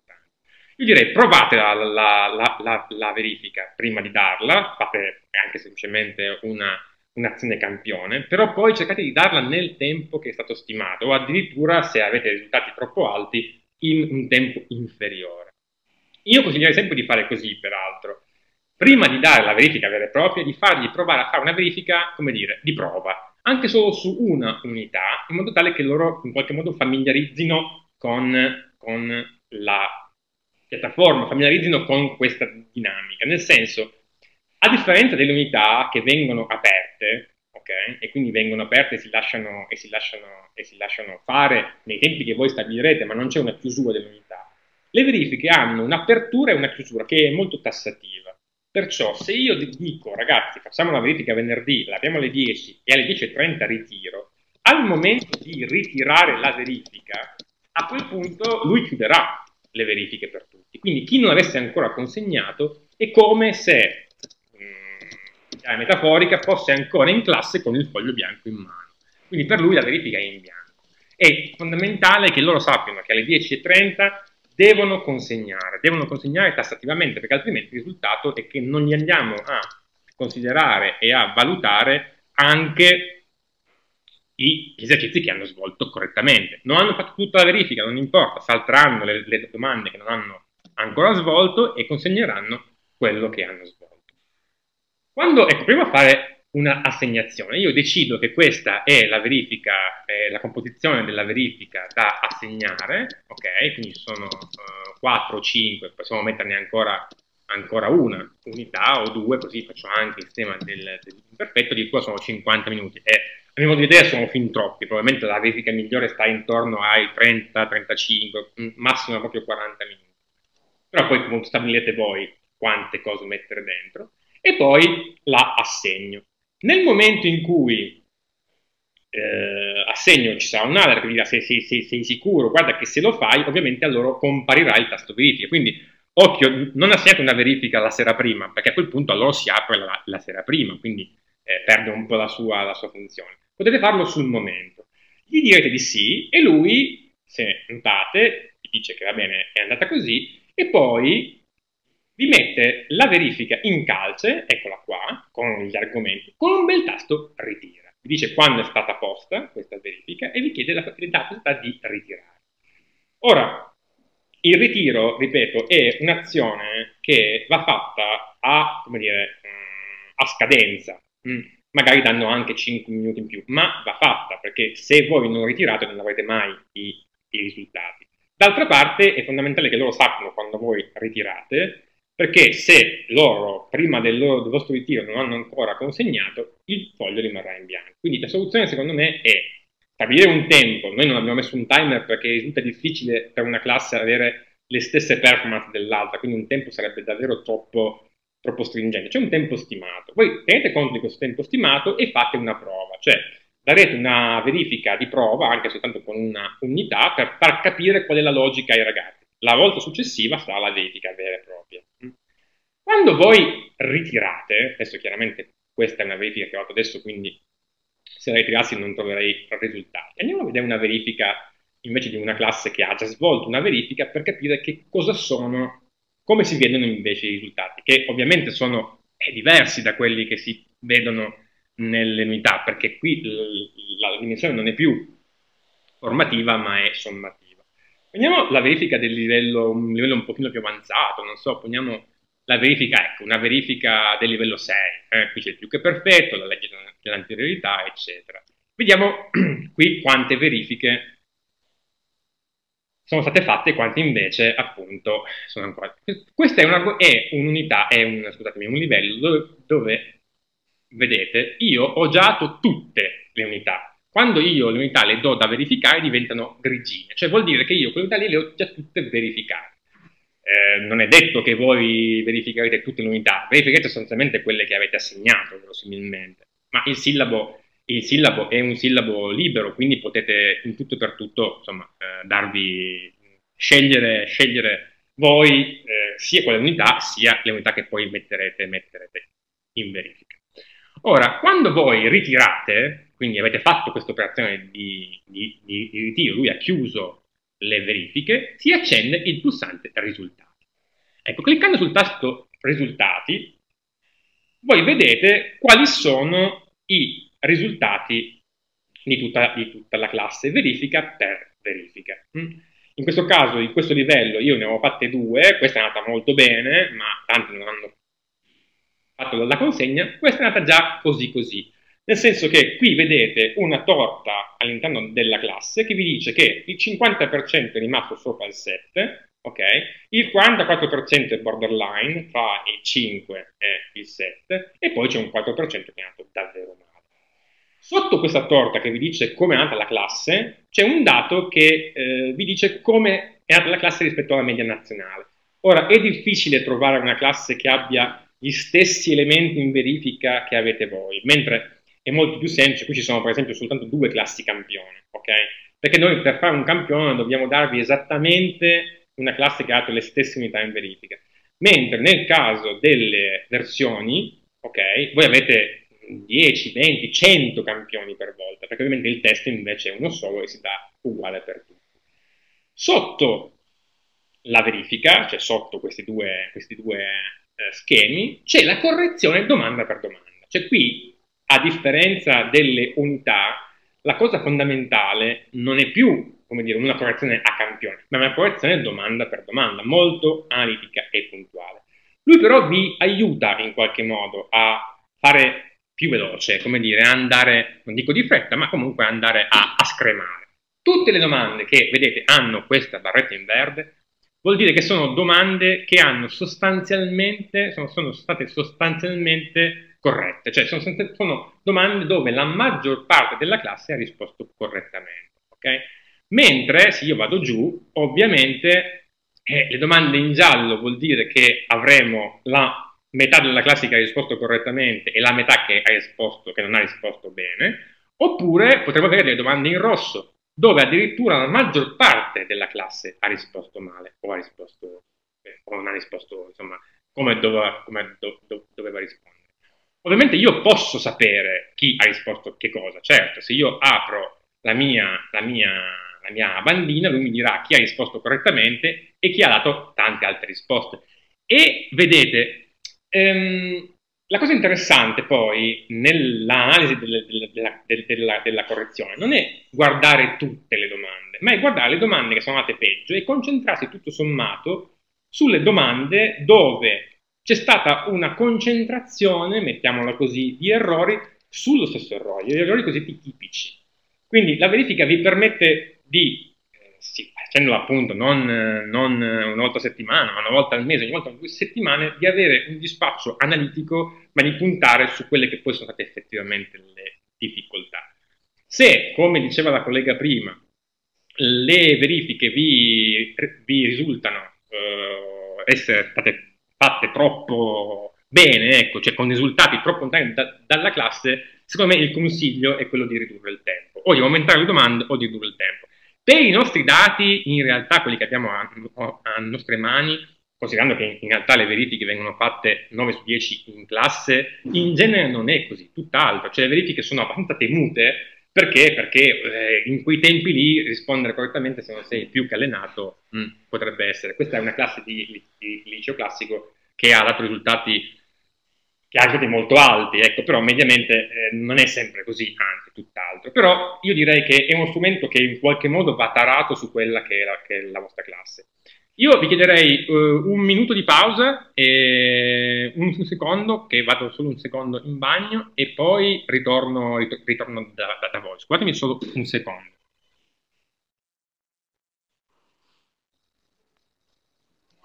Nell'attesa vi ricordo intanto quanto già eh, detto in chat, eh, il link alla registrazione sarà disponibile nelle vostre aree personali eh, nella eh, sezione webinar del portale Lesher eh, per la formazione entro tre giorni dalla, mm, lavorativi dalla, dalla diretta. Ehm, nella stessa, eh, nella stessa, sezione troverete anche l'attestato conclusivo eh, de, del, del, webinar ehm, e vi ricordo anche l'appuntamento eh, del 3 aprile sempre eh, sulla, sulla piattaforma Itaca Academy, vi lascio il link in chat. Eccomi, scusatemi, allora, ehm, c'è ancora un modulo, che è quello delle versioni. In realtà le versioni si comportano in maniera ibrida. Eh, da un certo punto di vista funzionano come l'unità perché io ho un feedback in tempo reale. E quindi, bene o male, io so sempre dal punto di vista formativo se sto sbagliando oppure no, non si comportano come le verifiche. Però, dall'altro punto di vista, quello della reportistica, in questo caso, le versioni sono a tutti gli effetti uguali alle verifiche, quindi io, avendo un testo che è uguale per tutti, ho domande che sono uguali per tutti. Ora, io eh, vi direi, facciamo una pausa ancora un secondo, se ci sono delle domande per le verifiche, poi passiamo alle, alle versioni e poi se ci fosse qualcuno, e io qui chiederei che vuole vedere anche le prove per competenza che riguardano invece la parte del triennio, il liceo facciamo poi una parte che è dedicata alle prove per competenza. Le prove per competenza sono, erano pensate, sono pensate per la preparazione alla certificazione. Come sapete la certificazione è stata bloccata, perché chiaramente non ci sono gli estremi per poter fare una certificazione in questo momento in Italia, il che però non vuol dire che queste tipologie di prove non possono servire per la valutazione, sia in questo caso con le prove di competenza di tipo formativo, se volete darle da una volta all'altra, sia di tipo sommativo se vuoi usarle per fare una verifica vera e propria con una classe del, del cliente. Quindi io non so, vi chiederei a questo punto, eh, Anna Chiara, se ci sono altre domande che magari possono ancora riguardare le verifiche o comunque come eh, fare la valutazione in questo momento. E poi passerei alle, alle versioni. Dimmi tu. Sì, allora ti, ti riporto alcune domande.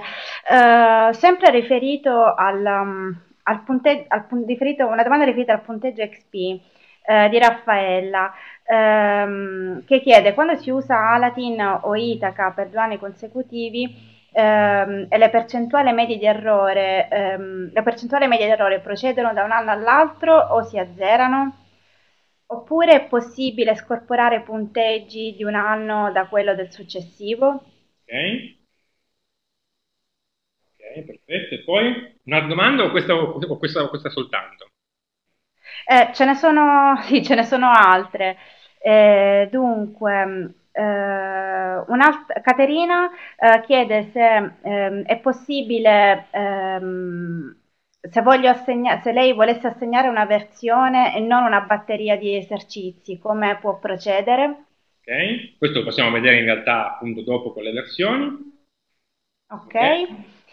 Eh, e poi è arrivata una domanda di Cristina eh, che chiede: Mi interessa sapere se posso fare una verifica differenziata eh, per eh, DSA, per esempio programmando tempi differenti o simili. Allora, risponderei a queste tre domande intanto. Perfetto. Ok? Allora, la percentuale degli errori di anno in anno piuttosto che eh, tutte insieme. In realtà, per come è concepito l'apprendimento per padronanza, io non azzero la padronanza di anno in anno, cioè si, si suppone che io continui da, quello, da, quella precedente. Però un conto è la padronanza e quindi tutto sommato la mia percentuale degli errori sugli argomenti che ho già svolto, e un conto è la valutazione.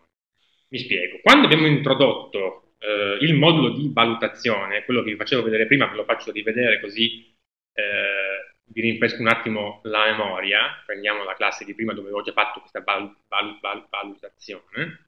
Quando io vado a prendere questo, questo eh, ultima parte del registro, io cosa faccio? Faccio una fotografia.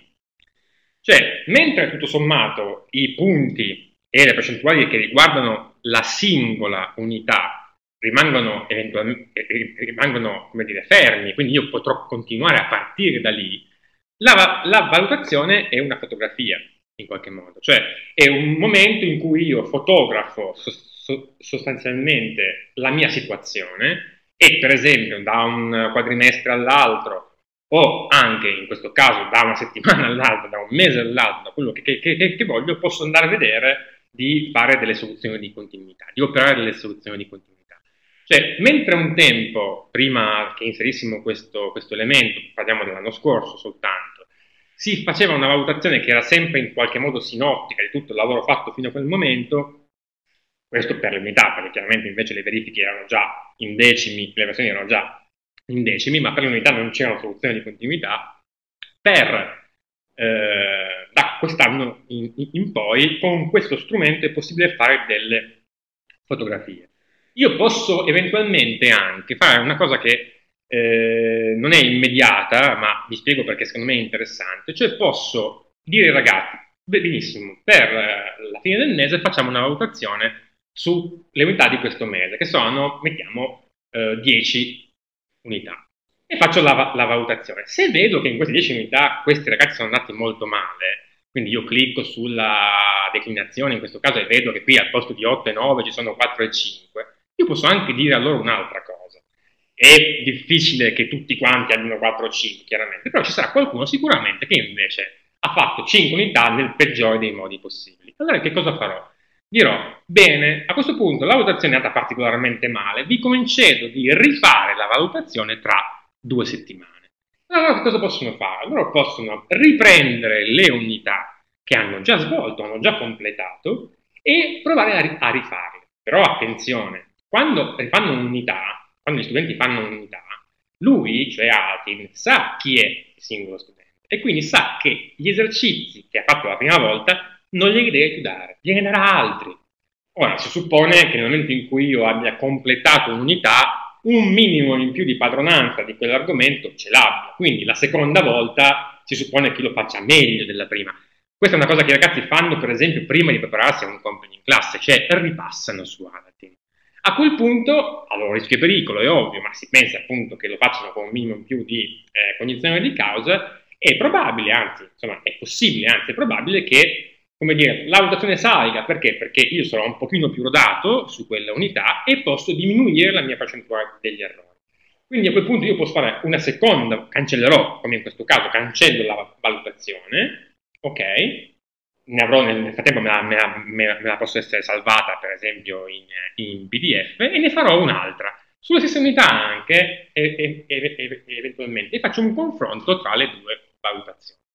In ogni caso la valutazione permette di fare una fotografia, permette di, dire, di fare un'istantanea di quel momento e di capire a distanza di settimane piuttosto che di mesi, poi appunto da un anno all'altro, come è andata. Noi non azzeriamo le percentuali perché in realtà nell'apprendimento per padronanza non ha senso azzerare le percentuali, significherebbe un po' dire ragazzi vi cancelliamo tutto il lavoro che avete svolto. No, ha senso piuttosto dire io vi faccio una valutazione quindi sapete che poi la votazione che conterà sarà quella, dopodiché ovviamente se voi facendo come dire tabula rasa sulla valutazione da questo momento in poi vi comporterete meglio sulle altre unità, su quelle successive o addirittura eventualmente sulle stesse ma con una seconda va- va- va- valutazione io ne, ne, ne, ne terrò conto. Cioè Quello che è sempre bene distinguere è l'aspetto di crescita formativa da quello che è la dire, espansione, la soluzione di continuità della, della va va valutazione. Questo strumento più valuta serve a questo, a questo scopo, fa delle fotografie e vi dà l'archivio di queste fotografie, perché come vi dicevo prima, a tutti gli effetti potrebbe essere anche un, eh, un documento da presentare al, al, al dirigente, da presentare al consiglio di classe o al collegio docente. Um, le versioni, così veniamo, veniamo, anzi prima faccio una parentesi sulle verifiche, sulle verifiche differenziate, così poi possiamo parlare delle versioni. Per i DSA la cosa migliore è chiedere in assistenza la creazione di un sottogruppo, cioè noi vi, vi facciamo un sottogruppo di classe che si chiamerà, poniamo, prima A sottogruppo o prima A differenziato, adesso poi il titolo lo potete scegliere voi, quindi chiaramente mettete quello che volete, e potete mettere degli studenti che fanno comunque parte del gruppo classe principale anche in questo sottogruppo. In questo modo potete dare a loro, oltre a delle verifiche differenziate rispetto a quelle che date al gruppo classe, anche delle unità differenziate.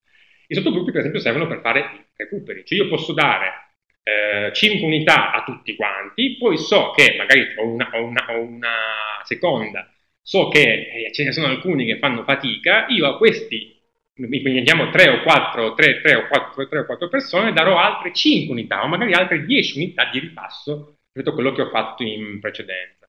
Ora, questo chiaramente vi consente, non dico di andare a due, a due velocità, perché l'idea del per padronanza è quella di portare avanti la classe in maniera omogenea, ma se avete ovviamente dei casi di BES, di, di, di, di SRA, può essere, questo, può essere questo il caso. Um, guardiamo le, le versioni. Così rispondo anche alla domanda sulle versioni. Come vi dicevo, le versioni, io parto dall'alto, um, le versioni eh, voi le trovate esattamente in calce ai livelli come nel caso delle, delle verifiche, sono proprio il pulsante, il pulsante a, a sinistra. Quindi le versioni sono tarate, ovviamente facendo parte di quel modello, sui prerequisiti, sugli argomenti che voi avete fatto in quel modello non c'è bisogno di dare le unità di tutti gli argomenti per poter dare le versioni, è evidente, però è un modo per, dire, per farvi tarare la, la, versione più o meno all'altezza in cui siete. Prendiamo per esempio le versioni del livello 4. In questo caso io ne date 6. Vedete che ci sono eh, più o meno mh, 8 indicativamente, ce ne sono 4 per ogni missione, quindi se il livello è fatto da due missioni, in questo caso ce ne sono 8 ce ne sono tre che io ho dato e questa qua che è di verifica che io non ho dato. Ecco, non badate alla dicitura verifica. Qui noi scriviamo verifica perché? Perché sul nostro testo ci sono queste versioni qua già, come dire, con il testo cartaceo, mentre queste invece non c'è. Ma di fatto eh, la versione su Alatin, mh, anche, anche queste che io ho già dato, potete usarla anche come verifica se volete, nel senso che comunque sia quello che possono trovare in giro per la rete è il testo ma non potrebbero comunque trovare l'analisi del testo che ci sta dietro. Okay? Comunque io queste versioni le ho già date. Come funziona una versione? Più o meno come una verifica. Poi chiaramente non andate a assemblare i pezzi dentro la versione, ma è un testo. Io lo seleziono, in questo caso lui mi dice è un testo di 37 domande, ok? Più o meno cuba una quarantina di minuti, quindi anche qua le versioni su Atom non sono dei simulacri di quelle cartacee, sono degli allenamenti, dei training, diciamo che sono preparatori eventualmente alla versione cartacea, ma in questo frangente, in questo momento potrebbero essere molto utili perché, perché ovviamente adesso come adesso dare una versione cartacea di compito è piuttosto difficile, mm, senza pensare che si mettano a copiare qualcosa. Immaginiamo di fare un, un giro su questa versione e di provarla. Come vedete, il testo è un testo in questo caso non molto difficile, è un testo abbastanza semplice, però viene scandito in periodi. Non è che facciamo questa cosa per facilitarli. Mm, la scansione in periodi in realtà, a parte che la tipografia latina, come sapete, è arbitraria, cioè è un frutto, della, della, de, de, è un, è un frutto filologico e non necessariamente eh, connestato dal testo. Ma detto questo, eh, la scansione in periodi fatta così è semplicemente per permettergli, ve la faccio vedere così, di poter fare la versione anche su un telefono. Quindi, siccome, ahimè, il 70% ormai dei nostri utenti entra dal telefono, questa scansione gli permette di affrontare i periodi anche sul loro telefono. Loro possono ovviamente partire da un periodo successivo al primo, ma poi in realtà non si fa. Quello che però ci interessa nella versione è che non si mettono subito a tradurre, come voi sapete bene. Quindi quando io comincio una versione, prima di arrivare alla traduzione vera e propria, dovrò dimostrare di aver capito qual è la struttura sintattica della frase. Man mano che io vado a tradurre, in questo che è sempre il testo, come dire, complessivo della versione, vedrò intervallati a tutti i periodi le traduzioni. Le traduzioni o meglio, il modello delle versioni che abbiamo usato è quello, non so se qualcuno di voi l'abbia mai visto, o sicuramente l'ha viste, ma sia, sia, un appassionato di Avia Pervia, cioè gli, Avia Pervia erano dei testi commentati, proprio dell'editore Löscher, che eh, avevano il testo, come dire, ehm, anatomizzato in più livelli, c'era un livello lessicale, un livello sintattico, un livello di eh, come dire, morfo, morfo, morfosintassi e infine la traduzione. Questo permetteva sostanzialmente di andare dentro il testo in maniera molto analitica. Noi cosa abbiamo fatto? Abbiamo praticamente trasformato questo modello interlineare in una serie di domande. Quindi prima di fargli arrivare a tradurre, noi gli diamo sempre, chiediamo sempre insomma, di ehm, dirci che cosa, sostanzialmente di, di, di frase in frase, ovviamente delle cose diverse, l'autore sceglierà quelle due o tre domande per ogni periodo che servono per capire se lo studente ha capito. Anche qua, quando uno, come nel caso delle unità, quando uno risponde male, qui viene dato un feedback, quindi le versioni, a differenza delle verifiche, le potete dare anche a casa. Perché? Perché evidentemente loro sapranno cosa stanno, facendo. E qui, a differenza delle unità, siccome non possiamo dargli altre domande, possono riprovare possono riprovare e eh, appunto cercare di eh, meditare un po' meglio. Se sono bloccati invece, ovviamente noi l'errore l'abbiamo già tracciato, quindi evidentemente eh, non è che gli stiamo veramente aiutando, ma se sono bloccati possono cliccare sul tasto arancione, che è il salvagente. Il salvagente gli dà la risposta. Ovviamente, se io rispondo male e poi clicco sul, sul salvagente, ho perso il, il punteggio relativo a quella domanda. Se io clicco su salvagente prima di rispondere è come se comunque io avessi abdicato, quindi il punteggio di quella domanda mi verrà tolto. Quanto togliamo? Ecco, come vengono valutate le versioni? Dipende dal numero di, do di domande. Immaginiamo di avere una versione di 30 domande che sono distribuite eh, tra analisi e traduzione, più o meno immaginate un 60% di analisi, un 40% di traduzione, noi avremo ogni domanda che vale all'incirca 0,3. Quindi se loro fanno tre errori, se loro sbagliano tre domande, non prenderanno 7, prenderanno 9. Però è chiaro che non puoi, anche avendo eventualmente la traduzione davanti, non puoi, come dire, eh, andare avanti senza affrontare il discorso grammaticale, senza affrontare il discorso analitico. Ed è per questo che sono piuttosto apprezzate. Certo, Occhio perché se voi le date da una volta all'altra e in quel senso le date da valutare, è probabile che in questo periodo, nella fattispecie, i ragazzi si passino tra di loro, le facciano insieme, che non è un brutto esercizio, ma comunque insomma può avere il, il, il, il valore che ha. Invece se volete darle come eh, esercizio sommativo, quindi se volete effettivamente usarle come verifiche, anche qua farete esattamente quello che fate per le per le verifiche vere e proprie. Quindi dite ragazzi, guardate che la versione la apriamo alle 10.05, gli darete il tempo che lui appunto vi ha stimato, forse anche qualcosa in meno, qualcosa in più in base ai risultati che avete e poi loro devono consegnare. Come fanno a consegnare? E niente, vanno alla fine della versione e cliccano su consegna. Quindi non importa che abbiamo fatto tutta la versione, eh, può darsi che in quel tempo loro riusciranno a fare tutto, può darsi di no. Importa che però nel momento in cui voi ritirate, loro consegnano. Qui c'è una cosa da, da, da, da aggiungere. Ehm, quando voi ritirate, che sia una verifica, che sia una versione, in realtà loro hanno già avuto un, un, un, risultato. Cioè, immediatamente, nel momento in cui loro consegnano, sanno già qual è il punteggio. Non è un voto, eh, è un punteggio, però è in decimi. Mm? E dipenderà appunto da quante domande corrette hanno fatto. Però non vedono ancora la correzione. Loro la correzione quando la vedono? La vedono quando voi ritirate. A quel punto il sistema chiude le versioni o le verifiche a tutti e darà a ciascuno la correzione domanda per domanda che voi, cioè che il sistema ha fatto, ha, ha fatto per voi. Prendiamo per esempio i risultati di queste versioni che io avevo già dato. Quando io ritiro, a quel punto si accende il tasto risultati.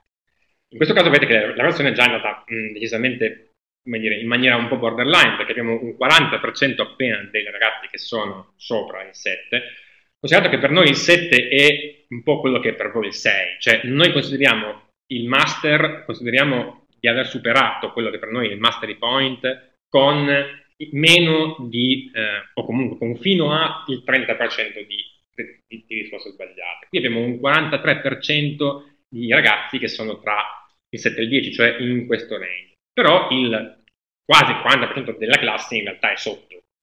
È vero che qualcuno è, lui lo conta come 6, però sta di fatto che non, non è riuscito a stare sotto il 30% di risposte corrette. Qualcuno addirittura è sotto il 5, quindi ancora Se vedete qua, questo è interessante, ve lo dicevo prima, se vado a vedere i campioni nazionali, vedrò che qui sono molto più alti. Perché? Perché ci sono molte classi che hanno dato in questo caso questa versione. Ci sono ben 94 classi che hanno fatto questa versione.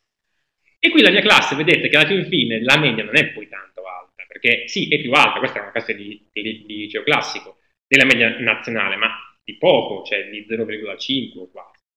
Sotto vedete la correzione, anche qua, domanda per domanda. Domanda per domanda dove c'è lo stesso principio che c'era, che, che c'era prima per cui avrò le domande in verde che vanno bene, avrò le domande in giallo mm, che sono ni e ci sono le domande in rosso che sono andate proprio male. E qui di nuovo il principio è andiamo a vedere quanti hanno risposto cor- cor- correttamente, in questo caso in 8, e quanti invece hanno fatto lo stesso errore. Lui vi dice chi sono, chiaramente, poi questi personaggi. Quello che vedono gli studenti, sia di una verifica che di una versione, è esattamente quello che vedreste voi se cliccaste sul loro nome in questo, in questo, in questo sistema. A quel punto vedete come è nato lo studente rispetto alla classe e rispetto alla media nazionale, vedete la sua traduzione, mentre chiaramente nelle verifiche la traduzione non c'è, ok? E poi sotto vedete domanda per domanda. Ma a questo punto non ci sarà più giallo, rosso e verde, ci sarà o rosso o verde, perché o ha risposto correttamente oppure no. Anche questo è un documento potenzialmente, come dire, se lo usate in chiave sommativa, da stampare, quindi si può archiviare, e anche questo è uno strumento che, come dicevo prima, sta, a voi scegliere. Noi consigliamo di dare 4-5 unità, di alternare un paio di unità con una versione e di fare una verifica ogni tanto. Se però voi pensate che la verifica per voi sia meglio farla con una versione, non c'è alcun problema. Il, la tara rispetto al, vostro, al livello della, della, della vostra classe lo vedrete, come dire, eh, usando un po' di Canosalis con i tempi, allungo un po' i tempi, stringo un po' i tempi, eccetera. E sempre direi, almeno per quello che riguarda eh, le, le, le, verifiche, ma anche nel caso delle versioni, facendone una di prova, perché è bene che i ragazzi conoscono la razza e sappiano come funziona. Oh, ehm, dove trovate tutto l'elenco delle versioni e delle verifiche? Ovviamente sempre al solito posto, cioè lo trovate sempre dove c'è il menu a ovetto, alla voce classi, scegliendo la classe, voi avrete, oltre che l'elenco delle unità, ok, l'elenco delle versioni, in questo caso studente per studente, con tutti i voti, ok, e elenco delle verifiche, anche qua studente per studente, con tutti i voti. E vedete che le verifiche non sempre sono andate così bene dipende molto da come sono state somministrate. E infine l'ultimo, che abbiamo già visto, quello delle, va- delle valutazioni. Badate che in realtà potreste anche fare potenzialmente una valutazione integrata, cioè io posso valutare tutto il percorso fatto da, poniamo, 5 unità, una versione e una verifica. Come farò? Andrò su più valuta, mh? Mm? gli darò un titolo, valutazione di periodo, valutazione di periodo, e poi metterò dentro, poniamo tutte, chiaramente in questo momento sto andando a caso, tutte le unità della seconda, metterò dentro delle versioni che posso immaginare siano, posso immaginare, devo sapere se sono in quel periodo, e poi anche eventualmente una verifica. Quindi io posso pensare di fare una valutazione e poi di crea. E lui farà una valutazione mista, cioè metterà te, te, te, terra dentro tutto quello che è stato fatto in quel periodo, cioè le unità completate in quel periodo, le versioni fatte in quel periodo ed eventualmente anche la verifica che ho fatto in quel periodo. Lui farà una valutazione integrata su, chiaramente in questo caso, o un argomento, quindi un gruppo di argomenti come le declinazioni, o il modo indicativo, il congiuntivo, o un periodo, un mese, due, due, due settimane direi un pochino poche per fare una un'azione di periodo, ma potrebbe essere un bimestre, o un mese, o un trimestre, eccetera.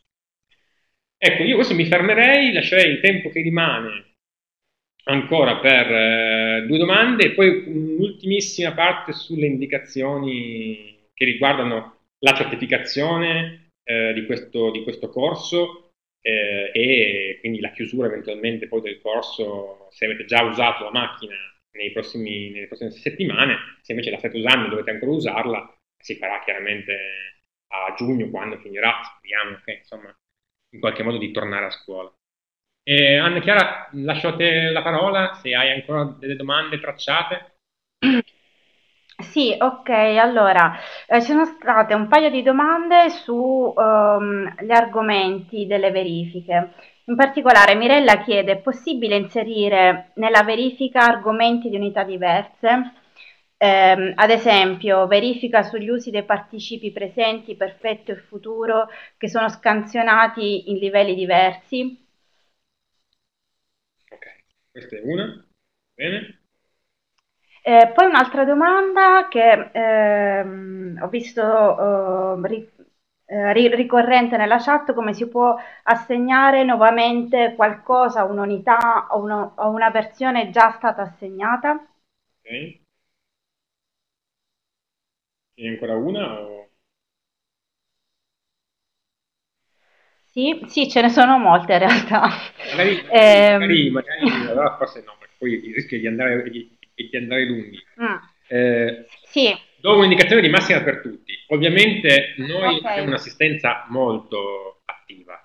In questo periodo molto, molto attiva, perché chiaramente abbiamo avuto un aumento, non dico esponenziale, ma quasi, si potrebbe dire esponenziale. Atin è cresciuto più o meno tra il 300 e il 400%. Eroghiamo in questo momento circa 500.000 esercizi al giorno, quindi immaginate che cosa vuol dire. Eh, l'assistenza la curiamo tanto con gli studenti che con i docenti Ovviamente quando ci scrivete in assistenza andate poi a vedere le risposte che vi abbiamo dato. Lo fanno sempre i docenti o quasi sempre, meno gli studenti perché spesso si immaginano, non so, che noi li chiamiamo al telefono o cose, cose, del genere. Noi possiamo scrivere allo stesso punto in cui loro ci hanno scritto. Quindi eh, non vi fidate tanto degli studenti che dicono io ho scritto ma non mi hanno risposto. Noi abbiamo un sistema di tracciamento caso per caso di ogni singolo ticket. Quindi nel caso diciamo recuperare la storia di chiunque e ovviamente poi la possiamo anche presentare. Quindi fate loro presente che voi siete in contatto con noi e quindi da questo punto di vista insomma, abbiate piena padronanza o comunque state imparando, ma in breve potete avere piena padronanza dello, de, dello strumento. Queste domande eventualmente se ho, non ho oggi il tempo tecnico per rispondervi, fatecene in, in assistenza. Ricordatevi però che tutto quello che io in realtà sto dicendo, sto eh, riassumendo nei, nei, tempi, nei, tempi, che abbiamo, voi ce l'avete anche in piattaforma, ve lo faccio vedere perché è importante.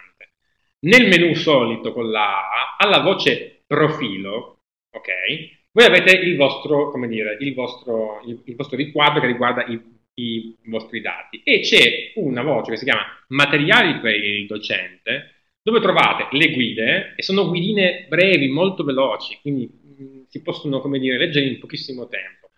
Eh, sia per quello che riguarda l'eventuale registrazione dei, dei, dei, ragazzi, ma a tutti i ragazzi noi attraverso di voi forniamo già un PDF con tutte le istruzioni del caso, sia quello che ho detto oggi, cioè le unità, assegnazione e monitoraggio, le verifiche, eh, le versioni e la valutazione, cioè tutto quello che vi ho raccontato, eh, in questo caso per moduli. Mm. Quindi mh, andate a leggere queste cose perché purtroppo eh, la tentazione è quella di dire, cominciare subito di, però non sempre poi si riesce effettivamente a...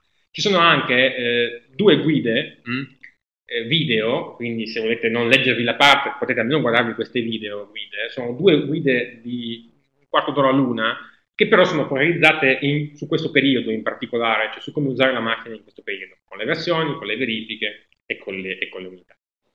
Rispondo a queste due domande ve, ve, velocemente. Posso dare una verifica su argomenti che appartengono a livelli diversi? Certo, puoi dare due verifiche, cioè puoi accendere entrambe le, le, le, le verifiche lo, lo, stesso giorno, eh, dicendo ai ragazzi, guardate che dovete fare una verifica eh, venerdì, lo poniamo, di 50 minuti e che ci sono due punti però. Quindi sostanzialmente quello che fa la macchina è accendere la verifica. Non vi preoccupate se gli argomenti stanno in due posti differenti, ditelo chiaramente ai ragazzi, guardate che la verifica è fatta, gli argomenti del livello 5 e gli argomenti del, del livello 6. Perché preferiamo tenere separati i, i livelli? Ovviamente per ragioni di ehm, tracciamento dei dati. Se noi riusciamo a capire quali sono le verifiche fatte da una classe in un certo periodo, riusciamo a mettere in relazione la valutazione che hanno avuto di quel livello con le unità di quel livello. Quindi è una questione di organizzazione e di pulizia dei dati. Però in realtà voi potete accendere anche 3 o 4 verifiche, è chiaro che poi difficilmente si accenderanno 3 o 4 verifiche, ma se sono verifiche con due unità, tipicamente per esempio in questo periodo di ripasso di cose che sono già fatte, potete farlo tranquillamente. Riassegnare, ecco, occhio, perché riassegnare dal punto di vista della padronanza non significa molto. Cioè se io ti pongo degli obiettivi e tu li hai raggiunti, ok? Questo vale per una verifica, vale, cioè verifica, vale per una versione, vale per unità, ehm, perché l'assegnazione si fa sostanzialmente di queste cose qua. Ovviamente se tu li hai completati è difficile che io te li possa riassegnare, però posso fare un'altra cosa, ok? Sulle unità, che sono il vero lavoro formativo, io posso dire, ti faccio una valutazione, come, come dicevo prima, ora come ora. No? Tu hai preso in, quell'insieme di unità, hai preso comunque una media, una, un brutto voto di media, diciamo un 5. Se tu queste unità le rifai, lui saprà chi sei, scarterà gli esercizi che ti ha già dato e te ne darà di alte. Quindi tu hai la possibilità di metterti alla prova e di vedere di migliorare le tue performance. Okay? Poi certo non è detto, è rischio pericolo, che tu ce la faccia o meno, questo sì. Però riassegnare un'unità non ha molto senso, perché unità non è un compito, è un obiettivo. Quindi sostanzialmente, mh, una volta che tu l'hai assegnato e hai aperto e i ragazzi l'hanno raggiunto, possono migliorarsi, ovviamente, ma è difficile che, come dire, ottengano di nuovo dire, il livello minimo, quello che noi consideriamo per passare al livello successivo. Non so se mi sono, se mi so, se mi, se mi sono spiegato. Um, vorrei dedicare ancora un, qualche minuto, proprio gli ultimi, a una cosa che mi chiedono spesso in assistenza e che secondo me è importante, cioè eh, un elenco di problemini. Eh, è una carrellata, non può darsi che i problemi che avete trovato o che i ragazzi troveranno non saranno in questa carrellata, ma per quello c'è l'assistenza. Però vi do due dritte su quelli che possono essere i problemi più comuni, che in genere vengono in particolare a emergere in questo periodo dove non avete il contatto de viso con i ragazzi. Ecco, vado su questa pagina qua. Eh, io l'ho chiamata le, le, FAC, ci sono le FAC in piattaforma, vicino al profilo ci sono anche le FAC, ma non se ne legge nessuno. E quindi ci scrivono spesso in assistenza un po' le stesse cose. Allora, cosa devo dire a un mio studente che non riesce a loggarsi? Allora, se non si riesce a loggare, i motivi possono essere sostanzialmente due, e soltanto due. Uno, si è dimenticato la password. A quel punto c'è un pulsante, non, non ricordo più la password, noi gli mandiamo un link sulla mail, lui cliccherà su questo link e rifarà la password, come tutte le piattaforme. Okay? Certo che se il ragazzo non va a guardare la password, eh, non va a guardare la mail, o se questa mail finisce nello spam, lui non controlla nello spam, per noi è difficile, come dire, avere la sfera di cristallo. Se non dovesse arrivargli la mail, o se la password non fosse il problema, il problema molto probabilmente è che ha scritto mai la mail in prima battuta.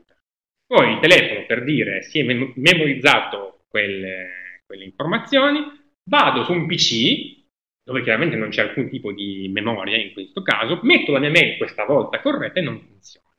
E come mai non funziona? Perché? Perché la macchina ti ha registrato con una mail che non è quella corretta. A quel punto che cosa faccio? Niente, sul login, dove io cerco di loggarmi ma non riesco a loggarmi, c'è un bel tasto assistenza, dico sono Mario Rossi, faccio parte della seconda della, de, della professoressa Bianchi, vorrei cambiare la mail o vorrei capire qual è il mio problema. E l'assistente nell'arco di 8-12 ore direttamente risponde e ti trova una, una, una, soluzione. Non fatevi abbindolare da coloro che dicono non riesco a loggarmi e lo dicono per un mese, perché non ha nessun senso. Devono contattare l'assistente e devono risolvere il problema. Ecco, questo praticamente è quello che vi ho detto adesso. Quali informazioni devo dare all'assistenza perché possa aiutarlo? Queste, cioè deve, deve, deve dirmi chi è, in prima battuta, ok? Deve dirmi a quale scuola appartiene e deve dirmi ovviamente qual è il suo professore, qual è, qual è la, la, sua classe. Dopodiché noi 9 su 10, 99 su 100 lo mettiamo dentro. Come faccio ad attivare una, una nuova classe? Quello che vi ho fatto vedere all'inizio con un po' di difficoltà perché mi sono impappinato. In buona sostanza faccio un account prima come docente, quindi prima mi, mi iscrivo come studente, chiedo l'attivazione dell'account docente e chiedo una nuova classe. Se da docente già rodato, con già una classe, ne voglio chiedere un'altra, basta che vada sul tasto di assistenza o addirittura alla pagina classi, cioè richiedi una classe, compilate il form e dice io voglio la seconda A perché con la prima mi sono trovato bene, voglio anche la seconda. Come faccio ad attivare una classe con cui lavoro già su un'altra delle vostre piattaforme? Io ho una classe su Itaca, per esempio, e voglio andare su Alatin con la stessa classe, oppure viceversa.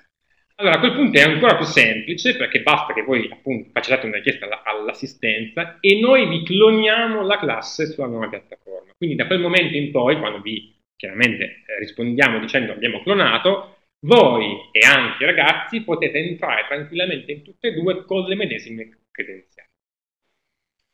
Perché i miei studenti non vedono le mie assegnazioni e il motivo unico e vero è che non sono, non sono associati alla classe. Quindi è chiaro che se sono iscritti ma non hanno fatto l'associazione alla classe che sta dentro il PDF che noi mandiamo come istruzioni, è difficile che loro vedano qualcosa perché non sono dentro. Voi potete appurarvi di questa cosa andando di nuovo nell'ovetto, pagina classi, con tutto il listato degli studenti. Se non compaiono, evidentemente non sono associati. Ma attenzione, se invece compaiono vuol dire che le vedono. Quindi eh, banalmente gli dici dai un refresh perché per me sei tutto a posto. Certo, può darsi, un, ci, può essere un'eventualità diversa. Io mi sono associato a una classe, poi siccome sono un, un pasticcione, eccetera, ho fatto un nuovo account e credo di essere ancora dentro. Ecco, dite ai ragazzi che non facciano doppi account. Se sono associati a una classe, voi, cliccando sul nome del ragazzo sul registro di classe, vedrete la sua mail. Quella è la mail con cui si sono associati. Quindi direte a lui, Ciccio, guarda che ti sei associato con maiorossi.gmail.com, non con la mail di, di, di, tuo, di tuo papà. Se vuoi fartela cambiare, scrivi in assistenza e metti la nuova mail. Ma questa è la mail con cui ti sei associato. È possibile che l'applicazione cancelli le lezioni, le unità, le verifiche che i miei studenti dicono di aver fatto? No. Perché? Ma banalmente perché questa è una piattaforma in cloud. Quindi, in sostanza, qui si sovrascrive tutto. Se io esco, vi ho fatto vedere prima, da unità ed entro dentro un'unità, esco sempre nell'ultimo punto in cui sono uscito.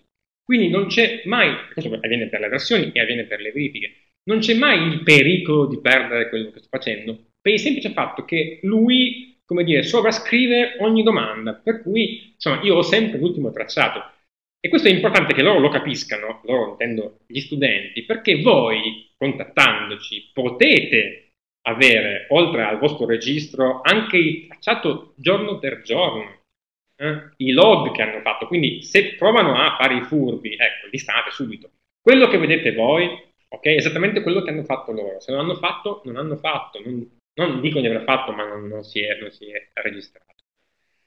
L'ultimo, è però il più importante, è possibile che l'assistenza non risponda? No, è possibile che l'assistenza sia sovraccaricata come in questi giorni, ma pensate che in questi giorni comunque sia l'assistenza ha avuto un massimo ritardo, la seconda settimana di picco, di 72 ore. In genere rispondiamo in 24, 24, in 8 ore lavorative, quindi in 24 ore concrete, magari possiamo arrivare a 16 ore lavorative, due giorni, ma non, non esiste che non si risponda per giorni interi. Certo, è possibile che i ragazzi non vadano a vedere le risposte che abbiamo dato, questo sì, però che non, diventi, che non diventi una scusa, perché in realtà noi abbiamo tre persone dedicate a fare soltanto quello, cioè l'assistenza. L'assistenza in questo momento ai contenuti è stata bloccata perché c'era un'esplosione di lavoro, ma quella tecnica non si blocca mai. e quindi è chiaro che su quella tecnica che è fondamentale noi comunque assicuriamo tassativamente dei tempi di risposta di al massimo un giorno o due giorni. E, ripeto, ultimamente ci mettiamo anche di meno. Io ho finito. E, ehm,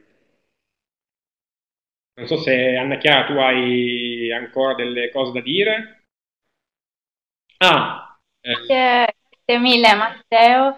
Eh, ti riporto dalla, dalla, chat i complimenti per, per la chiarezza e eh, per um, l'esposizione esaustiva.